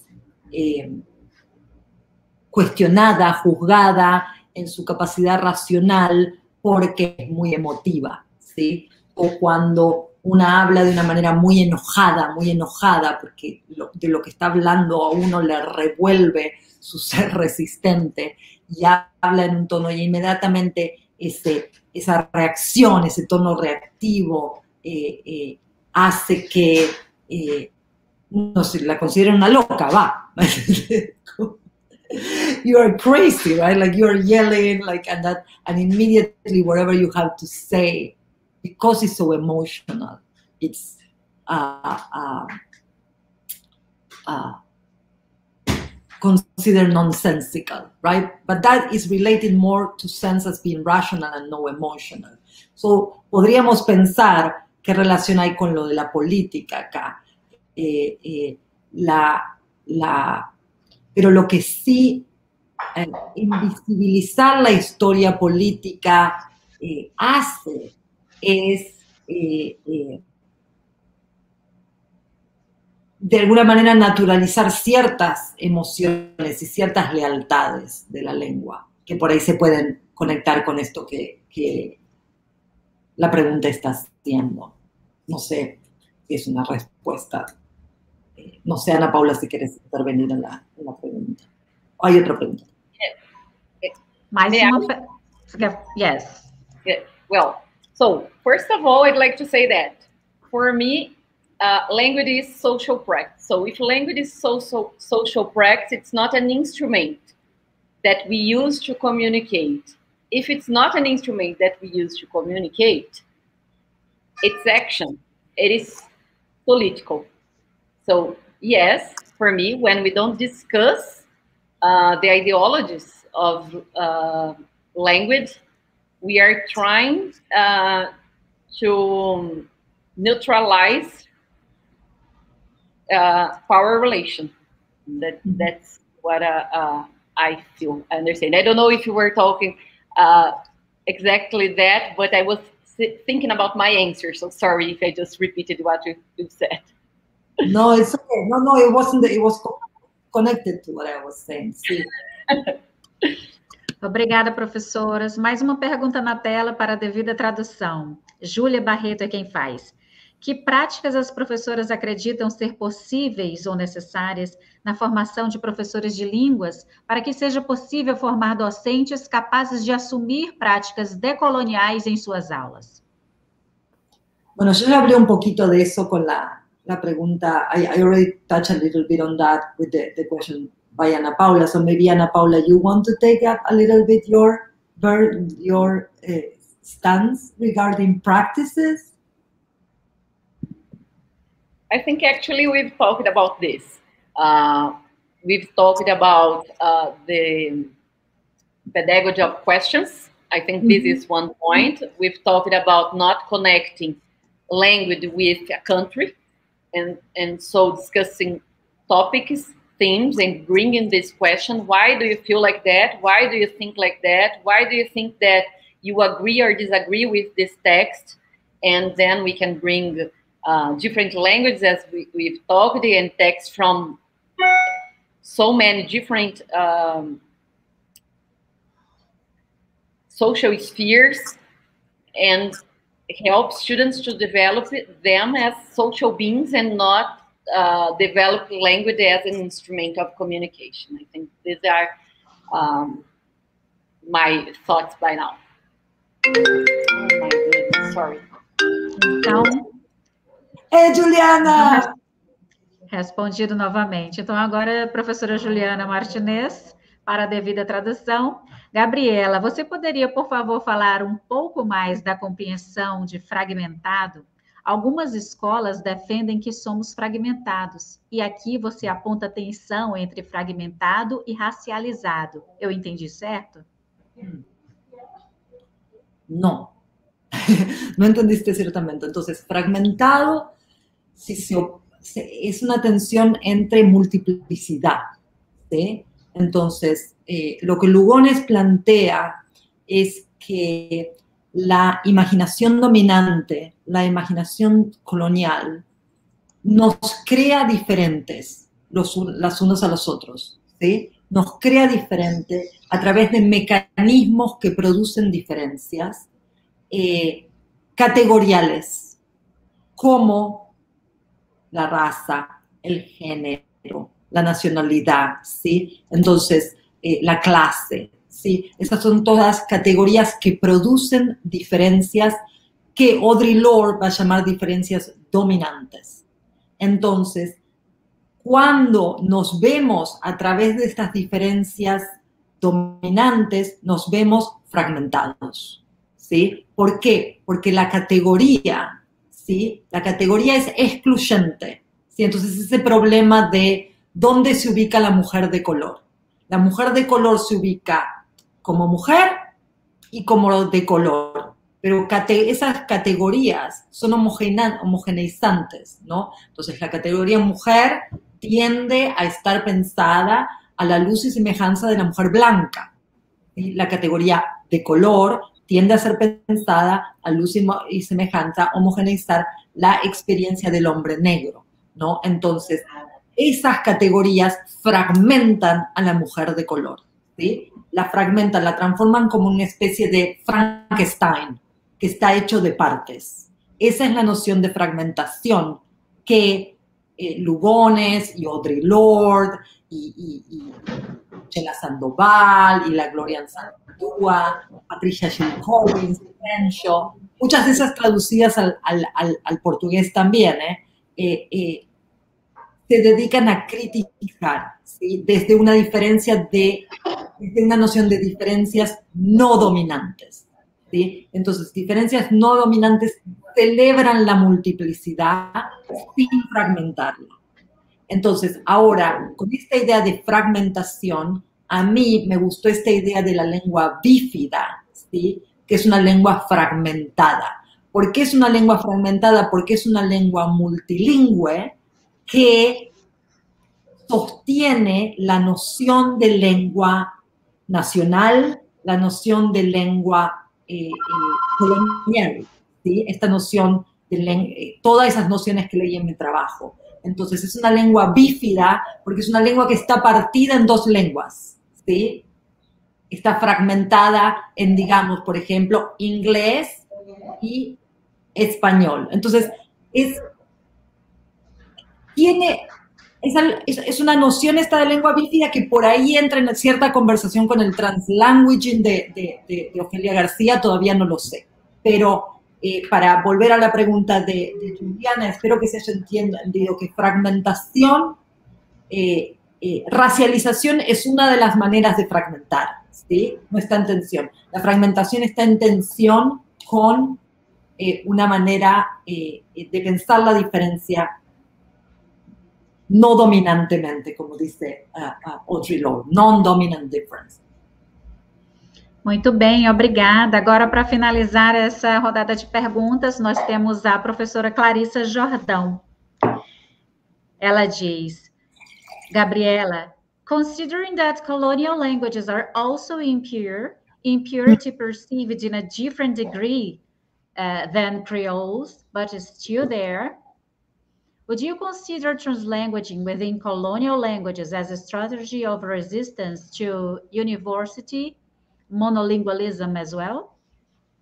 Oh, absolutely. I think already translanguaging, at least as, as, as I understand Ophelia Garcia and her, you know, like group to mean by translanguage is already a strategy of resistance, right? Like, because if, if, if that's what, if you're by translanguaging, you're meaning Ophelia Garcia's understanding, Clarissa. We can discuss about that later. But um, the translanguage it already makes the language impure. Uh, uh, so I agree with that. But I think that Pachuco Caló, uh, Petro Portugués, y no sé si lo estoy diciendo correctamente, es Petrugués. Sí, Petrogués. Yes. Petrogués. Petrogués, thank you Daniel, ¿sí? Petrogués, criol, son todas estas lenguas uh, uh, impuras de una manera distinta, ¿no? Que me parece que es interesante ponerse un poco a pensar. Felipe. Bien, hemos vuelto, ya son ahí las 5 menos 7. Temos sete minutos para cinco. Uh, y yo, vos sabés, ¿no, Gabriela, que soy el bardugo del tiempo acá. Y bien, uh, sabemos que la profesora Veronelli tiene igual un compromiso en algunos minutos más, en otro espacio. Entonces, lo que queremos más que todo es agradecerte a vos y agradecer a la profesora Ana Paula, agradecer a vocês duas por essa tarde repleta uh, de, é, de sons e, e de línguas para que a gente possa falar e se esperançar, né, mesmo, Ana Paula? E nós queríamos mais uma vez, em nome de toda a comissão, agradecer imensamente pela participação da professora Ana Paula Beato Canato aqui, como apresentadora neste momento, né, no dia de hoje, mas também como comissão, né, Ana? É, e bem, um, un agradecimiento muy especial, pero re especial a la profesora Gabriela Veronelli por todo lo que has aportado acá para nosotros. Ahora, solo para la finalización, nosotros nos, nos gustaría hacer una cosa multimodal. Entonces, igual, ahí sí, siguiendo la movida de lo que es multimodal. Entonces, lo que voy a hacer es como dejar ahí solo un espacio para, solo un rato acá, para que yo esté y voy a pedir a Marcos que trate de compartir las diapositivas, por favor. Então, o que, que eu vou pedir agora? Ah, nós pensamos em várias maneiras de fazer a finalização deste primeiro ciclo. Lembre-se bem, antes de a gente finalizar, eu estou agora naquele momento do professor que os alunos já vão pegando as coisas. Não saiam, por favor, nós temos ainda um tempinho. É, nós gostaríamos de relembrá-los, relembrá-las, relembrar a todos vocês, a todos vocês, que este é o ciclo, o ciclo 1 acaba hoje, finaliza hoje, mas o dela volta em outubro, na terceira semana de outubro, entre os dias aqui 18 de outubro e 22, para mais rodadas de pontes discursivas para que a gente possa falar sobre decolonialidade e linguística aplicada. E para finalizar, Marcos, é só, enquanto eu estou falando, só volta, acho que você está no último slide, por gentileza, volta no primeiro para a gente. Isso.